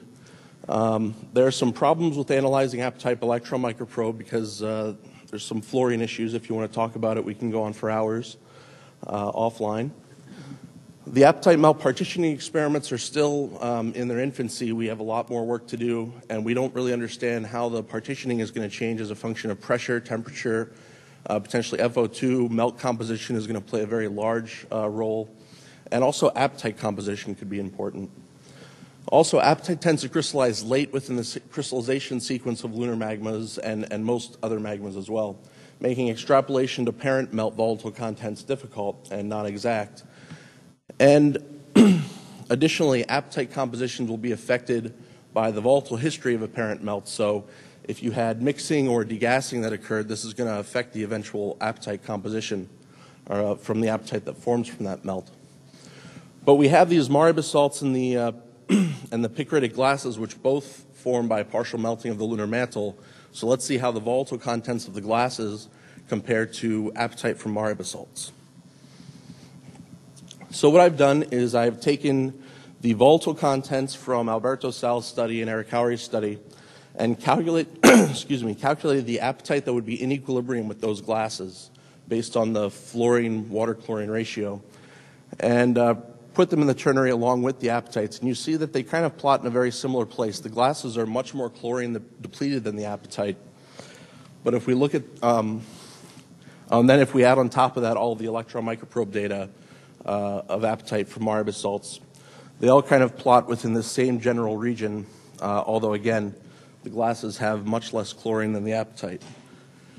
If we put it into the relative volatile abundance ternary from uh, before, we see that most of them uh, plot within this region indicating that you have more water than fluorine and more fluorine than chlorine uh, in these liquids. If we move over to the crustal rocks, again, these are the three uh, SIMS analyses from an alkali suite clast. Uh, the rest are electron microprobe analyses from both magnesian alkali suite rocks as well as KREEP-rich impact melts. We see that they're plotting in a different place than a lot of the Mare samples. They seem to have lower OH contents and they're uh, much higher chlorine contents. If we put them into the relative um, volatile abundance ternary, we see that a lot of them are in this region indicating higher chlorine than water or fluorine. And none of them are really plotting in this region indicating that you're dominated by water, um, except for maybe a few up here. Uh, but those are electron probe analyses, so it's, it's very hard to tell. Uh, I, wouldn't, I wouldn't trust them. We really need to get more SIMS data on, on apatite in general. So we have uh, KREEP basalts, which are partial melts of the lunar mantle that seem to have mixed with a significant KREEP component. So, you know, maybe they're going to be a good, uh, you know, rock to look at to see if we can really piece together two different reservoirs or if we're just looking, you know, at one. So I've highlighted here where the Mare, where the Mare volcanics sort of plot and versus the uh, Highlands rocks. And then all these points are from uh, apatites and KREEP basalts, and they kind of cover both fields. So um, it's not inconsistent with the existence of two uh, distinct volatile reservoirs on the moon, where one is the mantle um, and is dominated by water, and the other is the crust and it's dominated by chlorine. But how would you do this? So, um, take a drink of water. Yeah, lunar water. Oh, it's all gone. all right. So the volatile abundances of the Mare source region could either be controlled by uh, the liquid interstitial to the lunar magma ocean minerals, or it could actually be controlled by the uh, nominally anhydrous minerals themselves. If we consider that it's sort of this liquid interstitial to the uh, cumulus grains in, in the mantle, um, we wouldn't have a mechanism by which we would fractionate uh, fluorine and hydrogen from chlorine. Um, they should sort of evolve on a similar path, uh, although not the same path as um, you know the lunar magma ocean liquid. However, if we look at the partitioning behavior of fluorine, chlorine, and OH between nominally anhydrous minerals uh, and melt, we see that uh, pyroxene in particular prefers uh, chlorine, and, or sorry, fluorine and, and, water well over chlorine. These are actually upper estimates for chlorine because uh, chlorine was below the detection limit in the silicates for pretty much um, every analysis. So this indicates that, and this process would enrich the lunar mantle in fluorine and OH relative to chlorine, and it would indicate that the lunar magma ocean pyroxene is actually controlling the volatile abundances in the Mare source. And um, so this could be the reservoir that's sampled by Mare Volcanics, and, and it's kind of giving us the, uh, the volatile signature of the lunar mantle.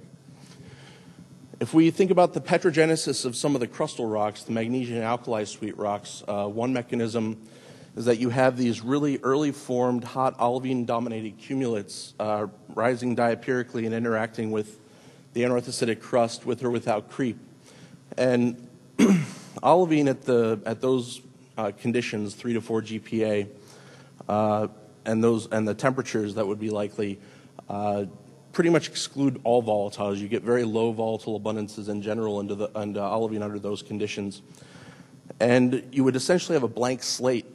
Uh, so the, the volatile abundances of those rocks would probably be dominated by the volat- relative volatile abundance of the urKREEP liquid, so that last kind of uh, magma ocean liquid. And this is what's going to give you the uh, relative abundance of volatiles of the primordial bulk moon. So I'm arguing that you actually, the, the bulk moon, when it started, uh, probably had more chlorine than water or fluorine, and that's no longer reflected in the lunar mantle. So to conclude, um, the volatile content of the lunar, lunar mantle seems to be dominated by water and has more water than fluorine and fluorine than chlorine. And the mantle probably reflects the partitioning behavior of fluorine, chlorine, and OH between melt and pyroxene. Uh, the crust um, and KREEP seems to be dominated by chlorine over water and fluorine. Um, and this is probably giving us an idea of the volatile abundances of the, primord- excuse me, the primordial bulk moon, and it's no longer reflected in the lunar mantle. And I've also thought a lot about the uh, chlorine isotope work being done by Zach Sharp in John Eiler's lab, as well as the hydrogen isotope stuff by Jim Greenwood, and I think we can fit it into the into the model. Uh, but talk to me offline about that because I'm out of time. So thank you.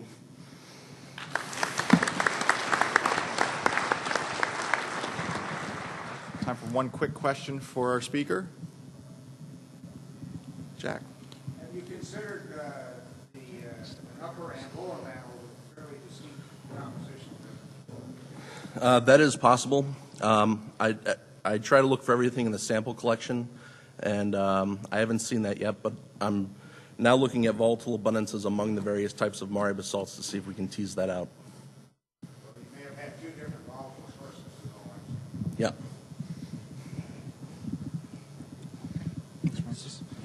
All right. It's my pleasure to introduce our next speaker and co-chair of the session, Brad Jolliff, who will be uh, giving a talk entitled Felsic Volcanics on the Moon. Brad? Thank you.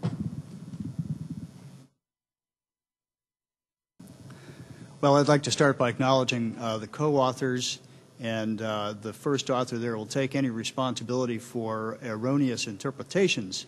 I also want to thank the LRO team and specifically the camera team an awful lot of work goes into processing the data that we have been uh, really enjoying getting back from the moon, and especially the digital topographic data that uh, you'll see some examples of here. Top keyboard. Okay, we've known for some time that there are some interesting volcanics on the moon that are not Mare basalt. These are the Gruithuisen domes, and they're an example of uh, what we think may be a more silica-rich uh, lava form. The slopes are steeper. The viscosity of the lavas that produced these uh, was uh, much, much greater than the Mare basalts. These are actually the largest of such domes on the moon, but there are other examples. Uh, this is what these look like in a digital topographic model. This is from the wide angle camera uh, topography derived from the wide angle camera images.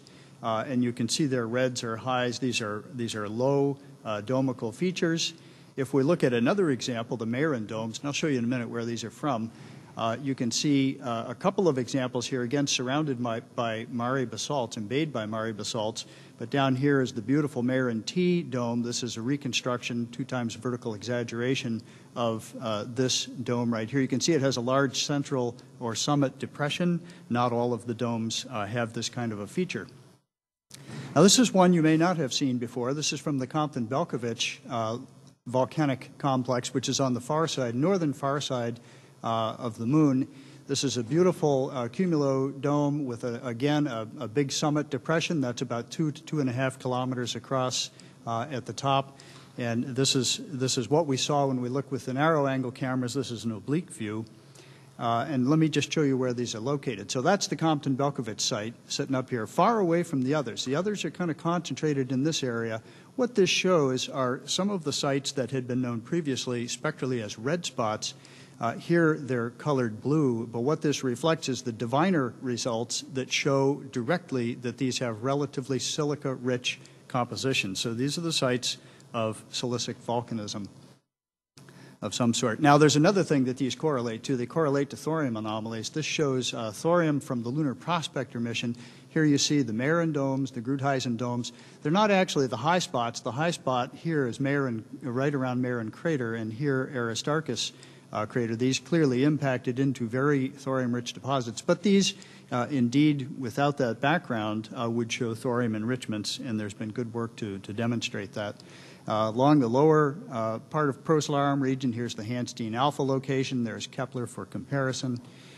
Now, here's the Compton Belkovich site. So, again, located uh, very far to the north, uh, just over the uh, eastern horizon that we can't see. And you can see it has a very nice uh, thorium anomaly associated with that. And this was pointed out by David Lawrence and co workers with the Lunar Prospector data shortly after that mission. Now, what we didn't know at the time is what was actually causing this. When we look with the Lunar Reconnaissance Orbiter data, we see a nice feature in here. It's uh, high, relatively high reflectance, and there's a little bit of a topographic feature there, and we start to see volcanic features as well. This is located on the second ring of Humboldtianum Basin, so there's a pretty, and, and we heard this from GRAIL, there's a well-fractured crust in this, in this uh, particular area. Compton crater and Belkovich crater here, that's how it gets its name. Now we have to talk just briefly about the response function of the gamma ray data. It's very broad, about 200 kilometers, and what that means is that a bullseye shape of a target mapped like this, which might be mapped at 5 ppm at half degree per pixel, actually corresponds to a much higher concentration if indeed the source is this small. So for that size of a source, 40 to 50 ppm thorium is not out of line.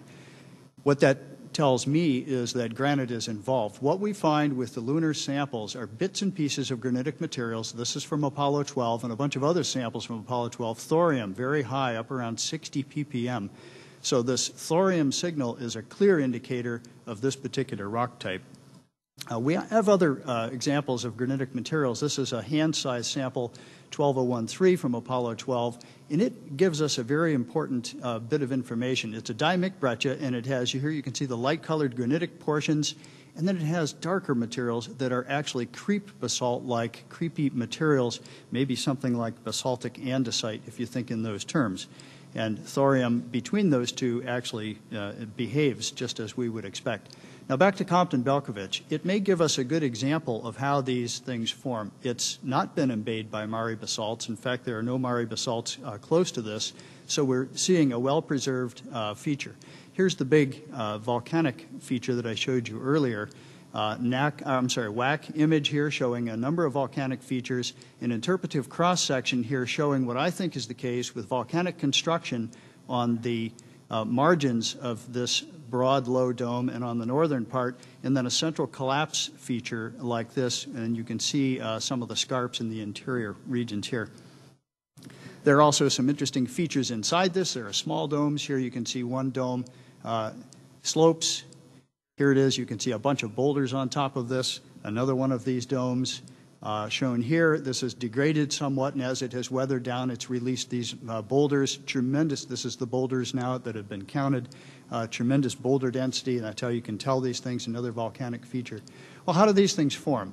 Here's one model for dome formation. This is after Justin Hagerty's uh, nice 2006 model. Uh, and I, I I like what this signifies is the potential. Uh, you, we have a heat source that ultimately lies in the mantle, uh, producing perhaps basalts. This is a ponded uh, basalt uh, producing partial melting of a fertile crust, and I point out this has to be a fertile crust, can't easily melt an anorthositic crust. But say we have something in here that's KREEP rich, produces a partial melt, that partial melt then uh, uh, goes up into a, a well fractured upper crust, ponds there, further fractionates, and produces rhyolitic materials uh, at the top. So this is one idea. To take this a step further at the Compton Belkovich site, I'll give you these models. Um, again, we have a heat source that's probably something like basaltic underplating or a mantle plume causing partial melting in a, in a fertile source. That material gets uh, up into the fracture system. It doesn't have enough lithostatic pressure to get all the way to the surface, so it ponds probably at a nice boundary like a megaregolith boundary, domes up the material. We get volcanic materials on the flanks erupting, and then it finally, at a very late stage, uh, highly fractionated granitic material. So that's basically the simple model. Of course, given GRAIL results from yesterday, I have to now revisit this because these densities may be a bit too high, and if that's the case, and, and the crust, that, that crust thickness may actually be about right, but we may have to revise this model. In fact, it gets, if we get densities much less than these, 3 for the lower crust, maybe 2.6 for the upper crust, it actually gets difficult to get this meld up, so we've got a challenge. Okay, so just to summarize things, thorium concentrations, I think, require a highly enriched source. Uh, KREEP basalt, melting of a KREEP basalt or KREEP basalt, uh, KREEP impact melt is, is the kind of thing that's needed. We have to get this close to the surface where it can pond and then fractionate. The viscosity of the, uh, uh, the silica-rich melts is way too high to traverse the crust, so I think this has to be emplaced as a more mafic material and then fractionate.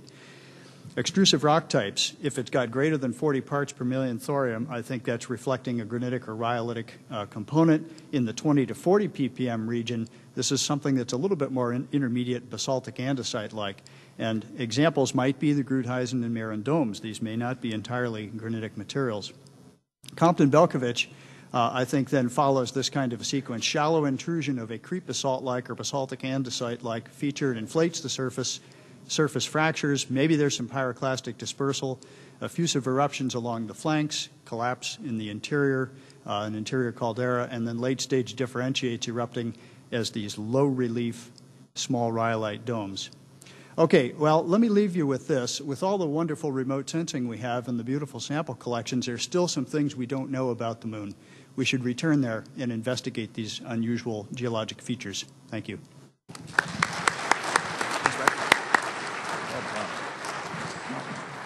We have time for one question.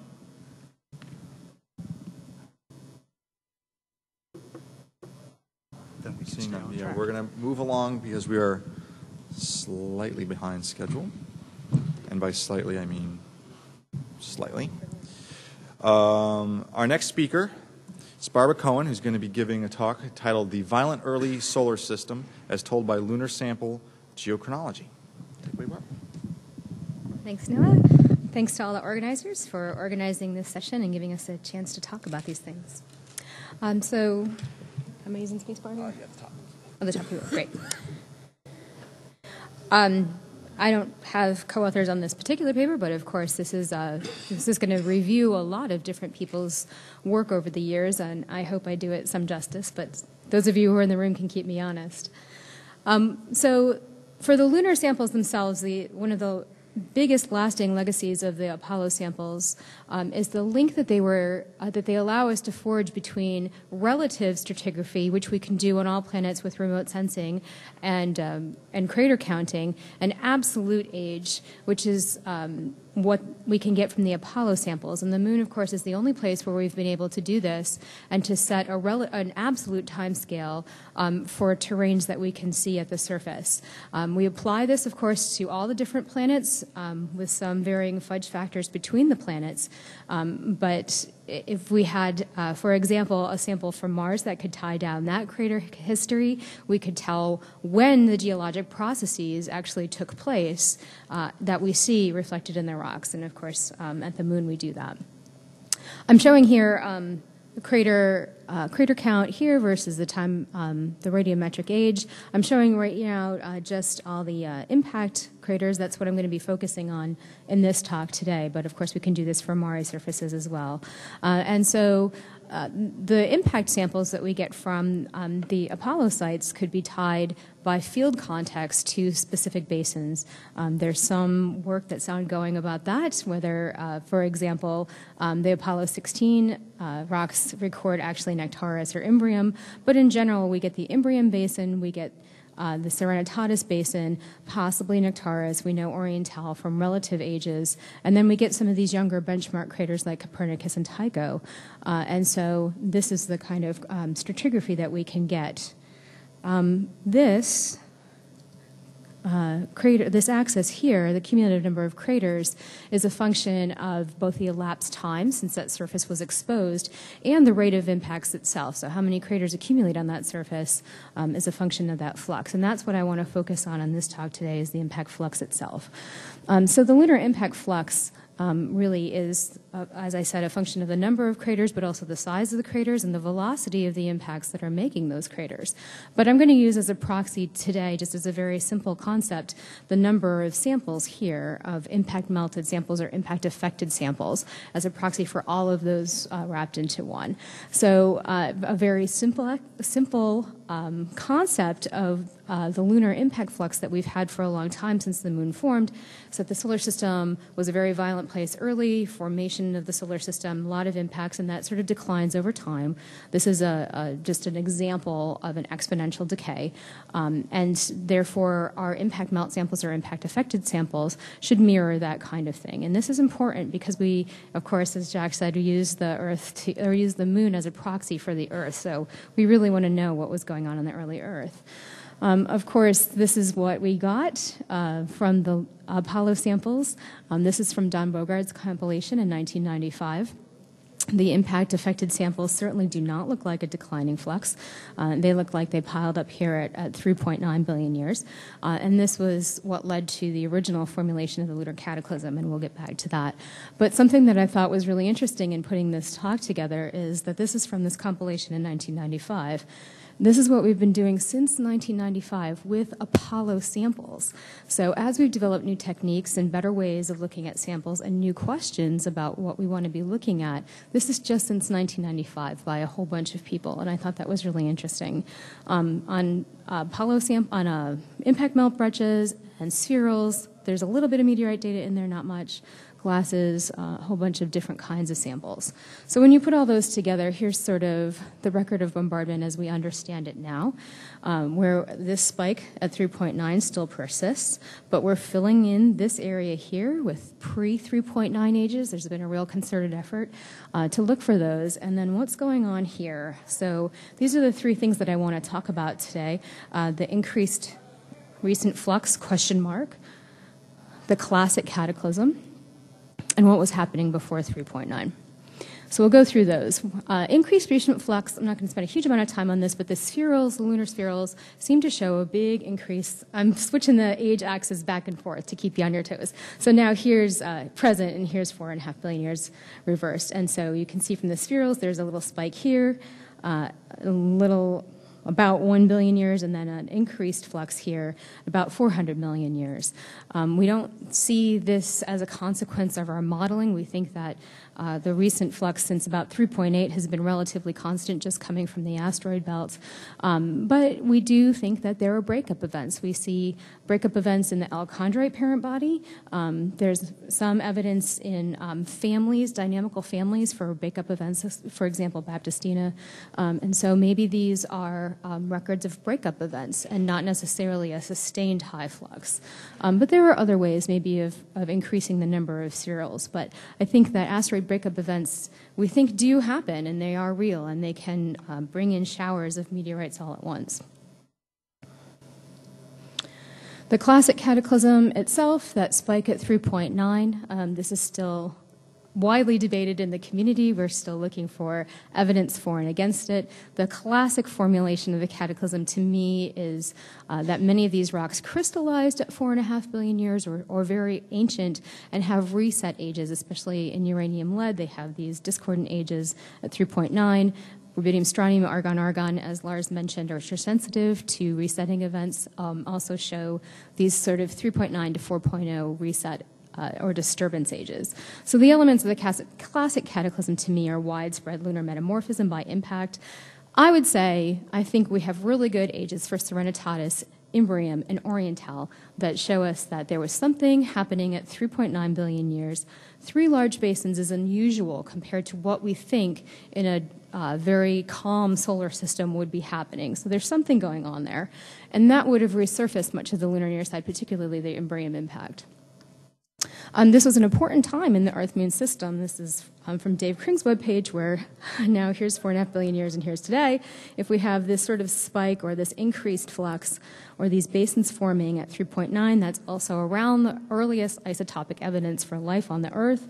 Um, and uh, around the time when um, the Earth rock record becomes very, very thin, and we don't have a lot of evidence of rocks before that time, and so we really turn to the moon to, to understand this time on the Earth.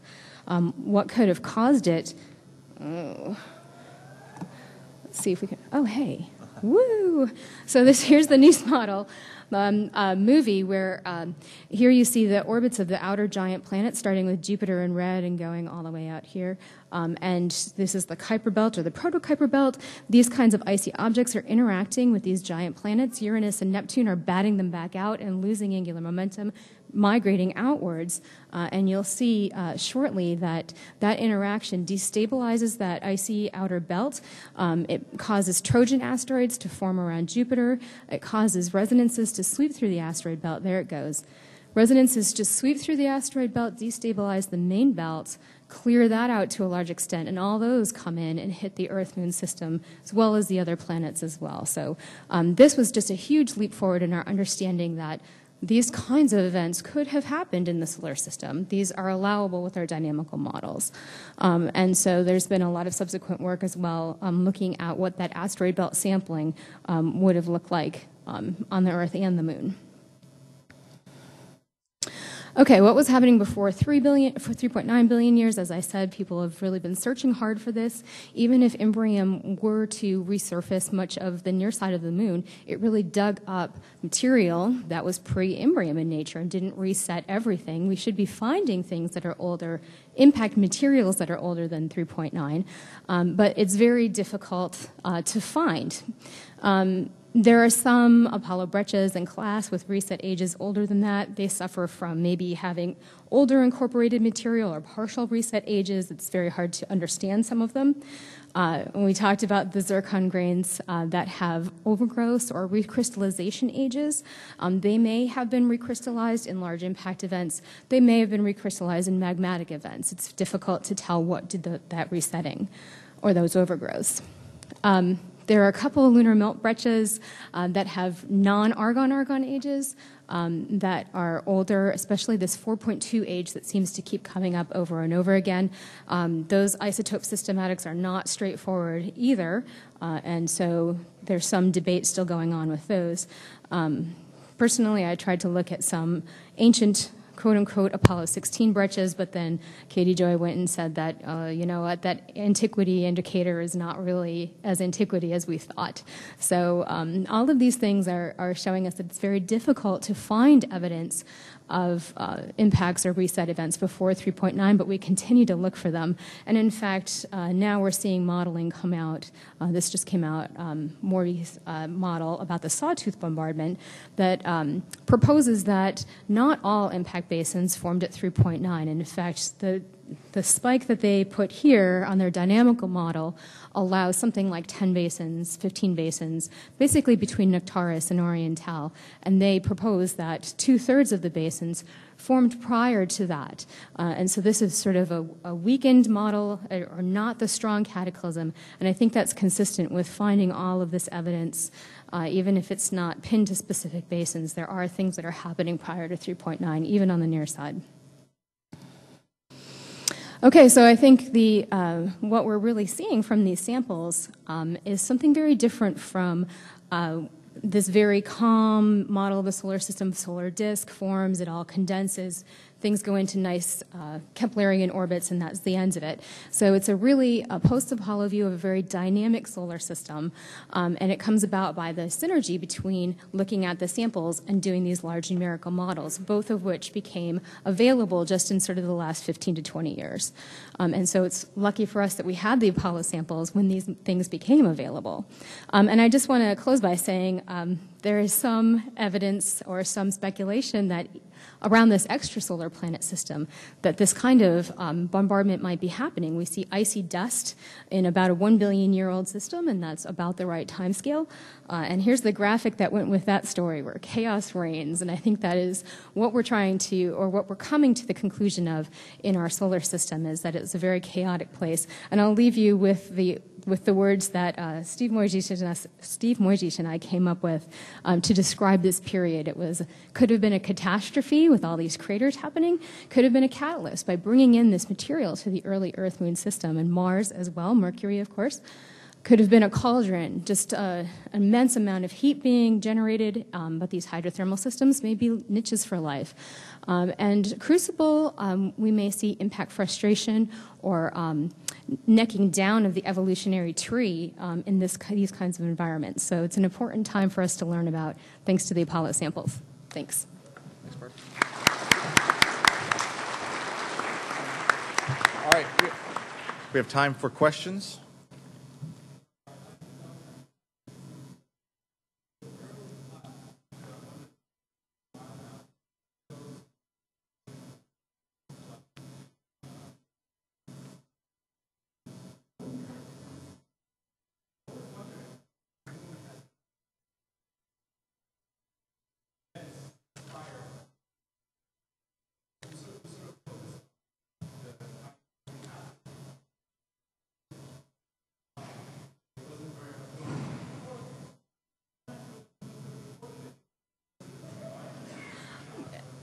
Well, we know that there was crust there, right? So it was recording impacts. So it was as soon as you form a crust after your magma ocean cools, you're going to be recording impact ages. Now, whether they still exist at the surface, that is an excellent question because we know gardening, and even when you have very large impacts, they're going to really garden that stuff really down below. So yeah, it's that's an important point. We've been trying to model that for a little while. Great. Yeah. Thanks, Barb. Okay. Uh, our final speaker today is Clive Neal. I learned very early in, on in life to always give and allow Clive the last word. And true to that word, yeah, well, he'll take it whether, yeah, he'll take it whether I give it to him or not. And so, uh, Clive Neal will be speaking on the importance of Apollo to solar system science and future human exploration. Take away, Clive. Thank you. Well, I know by the time that I'm supposed to be finishing, so any questions? Hey, steady on back there. That's the, that's, that's, the biggest applause I've had in a while. Um, so I was asked to uh, give a brief synopsis of this in uh, an informal chat with Noah. Um, and I, I put uh, Gene Cernan's quote down there, and I, I, just, it's 40 years since we went, uh, we sent humans to the moon. It's 40 years since uh, the first uh, classically trained geologist was sent to the moon and brought samples back. And then there's been sort of 40 years of desert. Um, and it's really time, you know, if we're going to think about if, if we'd just kept going, where would we be now? And uh, that's something, one, one thing to take away from this particular talk. But what was the importance of, of Apollo? So I've highlighted here the, the landing sites. Um, there's uh, the, where, where the different missions went, and you can see there that there's the basic thing is it demonstrated um, that with very and we now think crude technology, we could we could send human, humans to another planetary surface and bring them back safely. Uh, the other thing that it also gave us is, is for the first time uh, geologic context for returned samples uh, that was that we got from the transcripts as Jack talked about, and it allowed us then to really get a handle on what happened to our nearest neighbor. In doing so, if it wasn't for the moon, the magma ocean concept for planetary evolution uh, probably wouldn't uh, wouldn't have occurred anytime soon. Uh, we did have relatively extensive sample return, and, and, those samples are still being worked on. There are still several samples that still haven't been opened uh, from, and one of, one of those is from Apollo 17. So there are still samples out there to be worked on, and there are still new discoveries to be made. And uh, as Shinichi talked about, we've got geophysics data from another planetary body. Uh, through very well sophisticated and, and uh, well placed um, uh, instruments on the lunar surface. And if we just look at that and, and you get an idea of the, what ALSEP meant, and of course, Apollo 11 didn't contain an ALSEP, it contained a seismometer, uh, retroreflector, and a dust detector. Uh, but you see there in the, in the, subsequent missions, it was shown that, uh, that these types of data were important, and we've learned an awful lot uh, from, those, from those data sets. And you can see there the types of instruments that were, were laid out and a couple not shown. So quite sophisticated experiments were, were constructed and a lot of data was, was actually sent back. Um, and some of those data are still being used today. Well, actually last year you see this science paper from Renee uh, Weber uh, using the Apollo seismic, seismic, data because we now have uh, computing power that is sufficient to be able to stack these different seismograms and actually start to give us a tantalizing look for the first time at the presence of a lunar core, and also uh, with regards to the possibility of a liquid outer core. There are still lots of question marks with regards to uh, to these conclusions, but it just shows you that, that if it wasn't for Apollo, we would have no idea um, about that. And uh, with, with the Apollo data, we were allowed then to put the geophysics into the sample data uh, sets and construct uh, more sophisticated uh, evolutionary models. The other, other thing about importance in, in, in, future human exploration is it did show us that, all right, the background noise, uh, seismic background noise of the moon is, is pretty low, but every now and again there was, there was quite, a, quite a big rumble. And uh, if we look over here, this is a, an Apollo 16 seismogram. And if you can't see at the back, there's, there's little uh, segments down here represent 10 minutes. And this represents uh, what, they term, what is termed a shallow moonquake, uh, one between about 50 and 200 kilometers. And if we, if we look at these, these seismograms, you could see the maximum in, uh, motion was going on for up to 10 minutes due to the higher seismic Q, as uh, Jack pointed out, uh, of, of the moon itself. And uh, Yoshio uh, Nakamura and uh, Jürgen Oberst in 1992 pointed out that this potentially has a threat to any, uh, any proposed lunar outpost, and it's something that needs to be looked at in more detail. And, you, and you, when you actually look at these, you can see on this plot over here that's uh, at least seven of these events, 28 recorded over the lifetime of the passive seismic network, 28 were over uh, body wave magnitude 5. Um, and if you have that sort of maximum intensity at an epicenter of one of these things for 10 minutes, uh, you really don't want to crack in your habitat wall or structure and put a real crimp in your day. So the important thing here, and what Apollo showed us, uh, just a take-home message, that when you have an event, the ground shakes for a long time, much longer than we get down here on Earth. Now, also as Shinichi uh, pointed out, the ALSEP data are not all in the, the, planetary data system.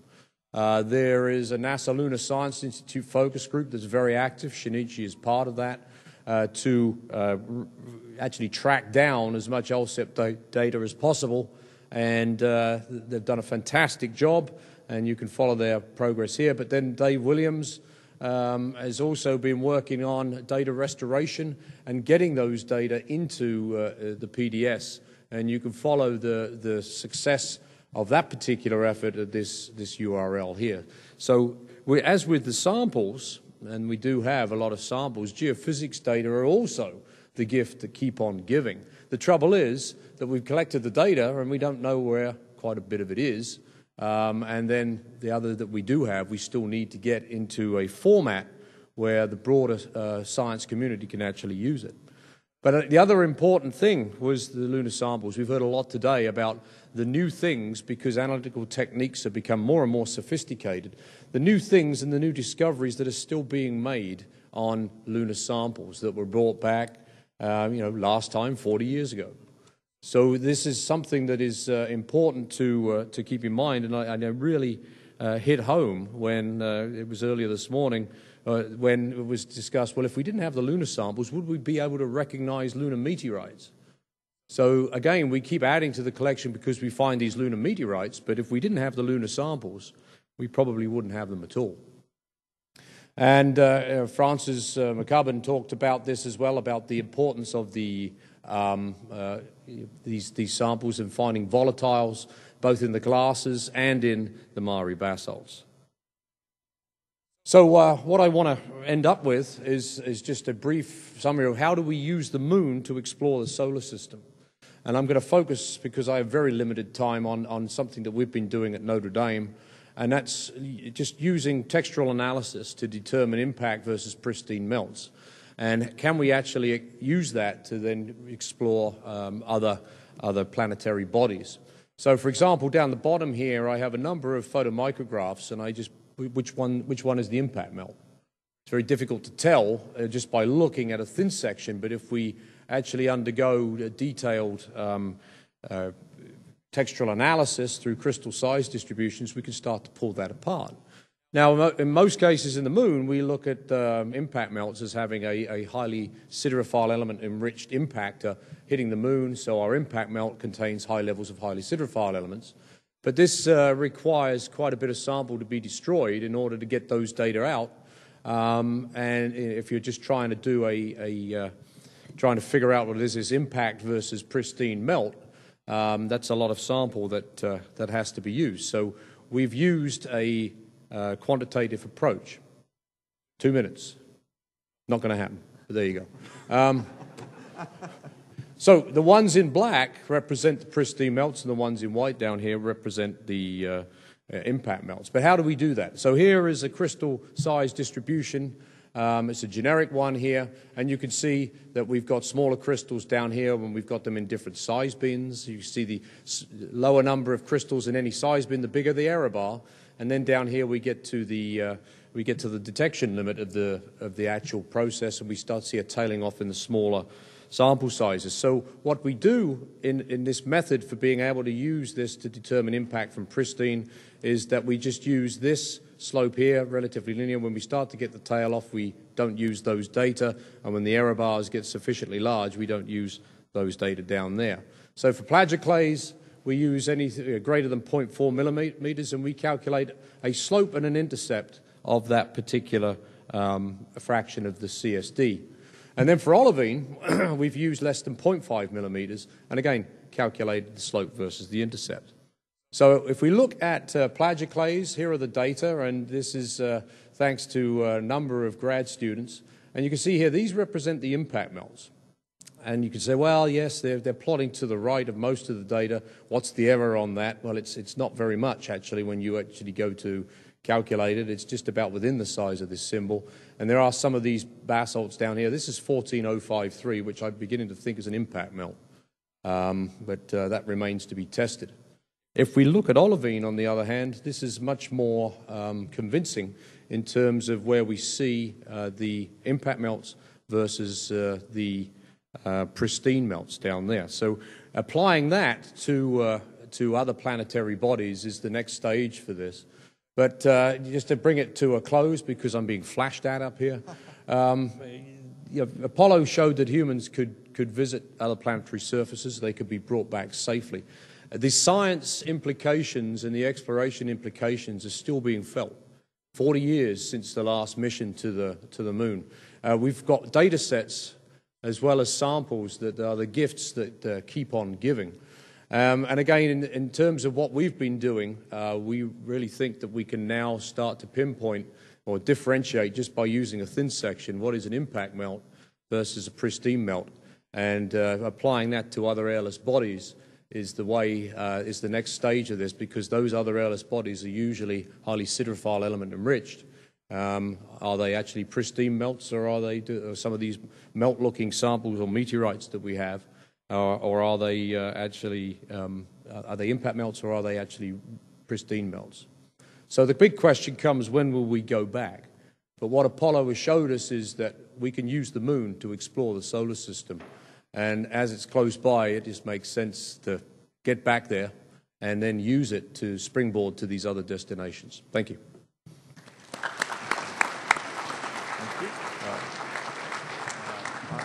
I want to thank my co-conveners, Rich Vondrak and Brad Jolliff, and particularly thank all of the speakers today. Um, Poster session 22 papers. That's right. There's uh, an extensive poster session that goes on this afternoon in the poster hall. Uh, please check them out. There's a lot of excellent posters in there that we wanted to have talks, but as you can see, we jammed as much into this session as we could. Thanks again for coming, everyone, and have a wonderful afternoon.